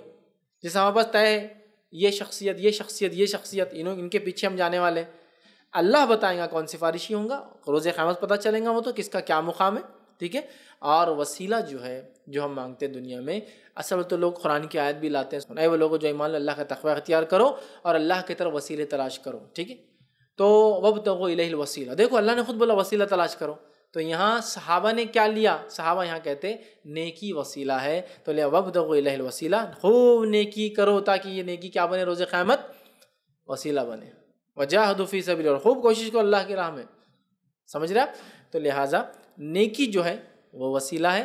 وہ جو آیت کے اندر آئی، رہا باقی وسیلہ، تو وسیلہ جو ہے، بیچ میں یہ شرعی اگر ہو تو درست ہے، لیکن ہمارے وسیلے غیر شرعی ہے شفاعت ایک الگ چیز ہے، لیکن ہماری شفاعتیں بھی غیر شرعی ہوتی ہے شریعت کے مطابق ہو تو ان شاء اللہ پھر اس میں کوئی حرج نہیں ہوگا۔ جیسے کہ جبر علیہ السلام بیچ میں بولتے ہیں نا وسیلہ تھے ہو سکتا ہے نا، لیکن شرعی طور سے اللہ نے دیا نا، ہم کون ہوتے بنانے والے کہ نہیں، تم بنیں گے اللہ کے اور ہمارے بیچ میں وسیلہ۔ اللہ بتا سکتا ہے کہ جبریل تم جاؤ اور قرآن پہنچاؤ ہم کیسے بول سکتے ہیں؟ اللہ کے رسول نے بولا تھا کہ نہیں جبریل کو مت بھیجو، ان کو بھیجو، ان کو نہیں، ان کو بھیجو۔ اللہ کی چوائس سے وسیلہ کون بنے گا اور شفاعت کون کرے گا؟ یہاں ہم اپنی طرف سے بناتے ہیں نا، یہ وسیلہ بننے والے، یہ شفاعت کرنے والے۔ مسئلہ یہ ہے، شرعی اگر بنیادوں پہ رکھے تو انشاءاللہ درست ہے۔ ہمارے اکثر وسیل اور شفاعتوں کا معاملہ غیر شرعی ہوتا ہے۔ اس میں میرا ایک تفصیلی بیان ہے وسیل اور شفاعت کی حقیقت۔ اس میں میں نے بہت ڈیٹیل میں اس کو ڈسکس کیا اس مسئلے کو۔ جی۔ السلام علیکم فیض میرا سوال یہ ہے کہ غیر مسلم کے جو نابالغ بچے رہتے، تو ان کا کیا ہوگا مقامی معاشر میں؟ میں نے ایک سوال کیا کہ جو نابالغ غیر مسلم بچے ہوتے ہیں ان کا کیا ہوگا تو دیکھیے، نابالغ جو چھوٹے بچے غیر مسلموں کے ہوں گے، وہ بھی ان شاء اللہ جنت میں جائیں گے۔ اس لیے کہ ظاہر سی بات ہے اللہ تعالیٰ ناانصافی نہیں کریں کسی کے ساتھ، اور چونکہ وہ بالغ نہیں تھے، انہوں نے خود سے ابھی شرک کو اختیار نہیں کیا، وہ جنت میں جائیں گے۔ ایک روایت کے مطابق یہ آتا ہے کہ وہ نابالغ بچے جو ہے، موتیوں کے جیسے ہوں گے، اور جنتی لوگوں کے وہ خدمت بھی کریں گے۔ وہ بچے مشرقین کے جو بالغ ہونے سے پہلے انتقال کر گئے وہ جو ہے جنت کے اندر ہوں گے اور مومنوں کی وہ خدمت کریں گے ایک طرح سے اس طرح الفاظ ہیں۔ اور بہت رفتار کے ساتھ وہ جو مومن و خدمت، گویا اس سے بات تو پتہ چلی کہ وہ جنت میں ہوں گے اور مومنوں کے ساتھ ہوں گے۔ تو نابالغ بچے جو مشرقین کے مرتے ہیں وہ جنت میں جائیں گے ان السلام علیکم ورحمۃ اللہ۔ فیض بھائی، محشر میں جیسا آپ نے بتایا کہ صرف توحید پرست ہی دو سے بچیں گے، تو شرک شرک جو کرتے تھے وہ پہلے ہی چھانٹ دیے جائیں گے جیسا بتایا۔ تو شرک کے آپ کا ایک پورا لیکچر ہے کیا یہ بھی شرک ہے، اس میں جتنے بھی اقسام آپ نے بتائے شرک سے، تو وہ سب بھی اس میں شرک میں آئیں گے۔ اور شرک کی ایک قسم یہ بھی ہے کہ نفسوں کو معبود بنا لینا۔ تو کچھ لوگ نفس کی عبادت میں سنت کی اتباع نہیں کرتے۔ تو وہ بھی لوگ ان میں آئیں گے کیونکہ اس میں بہت سارے دینی بڑی بڑی تحریکوں سے جڑے لوگ بھی ہیں جو کہ سنت سے اتباع نہیں کرتے۔ تو ان کا کیا جزاک اللہ خیر۔ میں نے ایک سوال کیا کہ میرا ایک عنوان ہے کہ شرک کیا اور کیا یہ بھی شرک ہے؟ میں نے اس میں بہت سارے شرک کے اقسام بتا تو کیا سبھی اس میں شامل ہے دیکھیے، اس میں شرک اصغر اور شرک اکبر دونوں ایک ساتھ ہم نے لے لیے تھے۔ تو جس نے شرک اصغر کیا، وہ اپنے رب سے توبہ کر لے۔ ان شاء اللہ جی اس کے لیے مسئلہ نہیں جس نے شرک اکبر کیا اور اسی پہ مر گیا، پھر تو بہت خطرناک بات ہے۔ پھر تو اس کا وہی حال ہوگا کہ وہ اپنے معبود کو دیکھیں گا اور اس کے پیچھے جس کی عبادت کرتا، جس سے مانگتا تھا حجت روائی، مشکل کچائی قسمیں کھاتا تھا منت مرادیں کرتا تھا، وہ اس کے ساتھ چلا جائے گا۔ تو میرے اس لیکچر میں میں نے بلا تفریق سب باتیں ایک ساتھ بیان کر دی ہے اکبر اصغر سب ہے تو اگر اصغر ہے تو وہ توبہ کر لے اکبر ہے تو بھی توبہ کر لے اس لیے کہ شرک تو شرک ہے۔ تو میں یہ کہوں گا کہ نبی اکرم صلی اللہ علیہ وسلم کی ایک دعا ہے، جو آپ کرتے تھے، اللہ کھلے اور چھپے تمام شرک سے میری حفاظت کر۔ وہ دعائیں ہم کریں اور صرف دعا نہیں، بلکہ ساتھ میں شرک کیا ڈیٹیکٹ بھی کریں اور اپنی زندگیوں سے اس کو نکالنے کی کوشش کریں۔ تو میرے لیکچر میں وہ مکس تھا ٹاپک مطلب میں نے اس میں الگ نہیں کر پایا۔ تو لہٰذا میں نہیں کہہ سکتا ہوں کہ کیا سارے وہ، اس میں کچھ اصغر تھے اور کچھ اکبر تھے۔ لہٰذا بیٹر یہ ہوں گا کہ اس میں سے مخصوص کوئی قسم ہوں گی تو اس کا ہم تجزیہ کر سکتے کہ کیا یہ والی ہے۔ ان جنرلوں سے میں نے ساری باتوں کو ایک ساتھ بہرحال لے لیا تھا۔ جی۔ لیکن یہ بات آپ اصولاً یاد رکھیں کہ اصغر کرنے سے انسان اسلام سے باہر نہیں ہوتا، لیکن شرک تو ہوتا ہے۔ اور اکبر کرنے سے اسلام کے دائرے سے وہ باہر نکل جاتا ہے۔ اور دونوں کے لیے توبہ لازم ہے، توبہ لازم ہے۔ اتباع نہ کرنا اور اپنی نفس کی خواہشات پہ چلنا یہ شرک میں میں شامل نہیں کروں ہاں نفس کی خواہشات پر چلنا اور اسی کو اسی کے وجہ سے قرآن حدیث ایک چیز بول رہی کرنا، تو یہ تو پھر نفس کو اپنے شریک کر دینا، یہ تو ہے کہ تو اللہ رب العزت کا کیا تم نے ان لوگوں کو دیکھا جس نے اپنی نفسوں کو خواہشات کو معبود بنا دیا، تو یہ تو ہے۔ لیکن صرف اتباع ترک کرنا اس میں نہیں آئے گا۔ وہ ہے کتاب و سنت، شریعت کے خلاف کوئی کام کرنا۔ قرآن بول رہا ہے، یہ مت کرو، ہم بول رہے نہیں، ہم ایسی کریں۔ تو تب تو وہ اپنی نفس کی پیروی کرنا۔ اس کے لیے بھی توبہ اس کے لیے لازم ہے، چونکہ یہ بھی شرک کی قسم ہے۔ انسان اگر توبہ کر لے تو اللہ سبحانہ تعالیٰ ان شاء اللہ عزیز یہ تمام قسم کے شرک معاف کر سکتا ہم اسی پہ ان شاء اللہ اپنی بات ختم کریں گے۔ واخر الداوان الحمد للہ رب العالمین۔ سبحان رب رب العزت صفون و سلام المرسلین الحمد للہ رب العالمین۔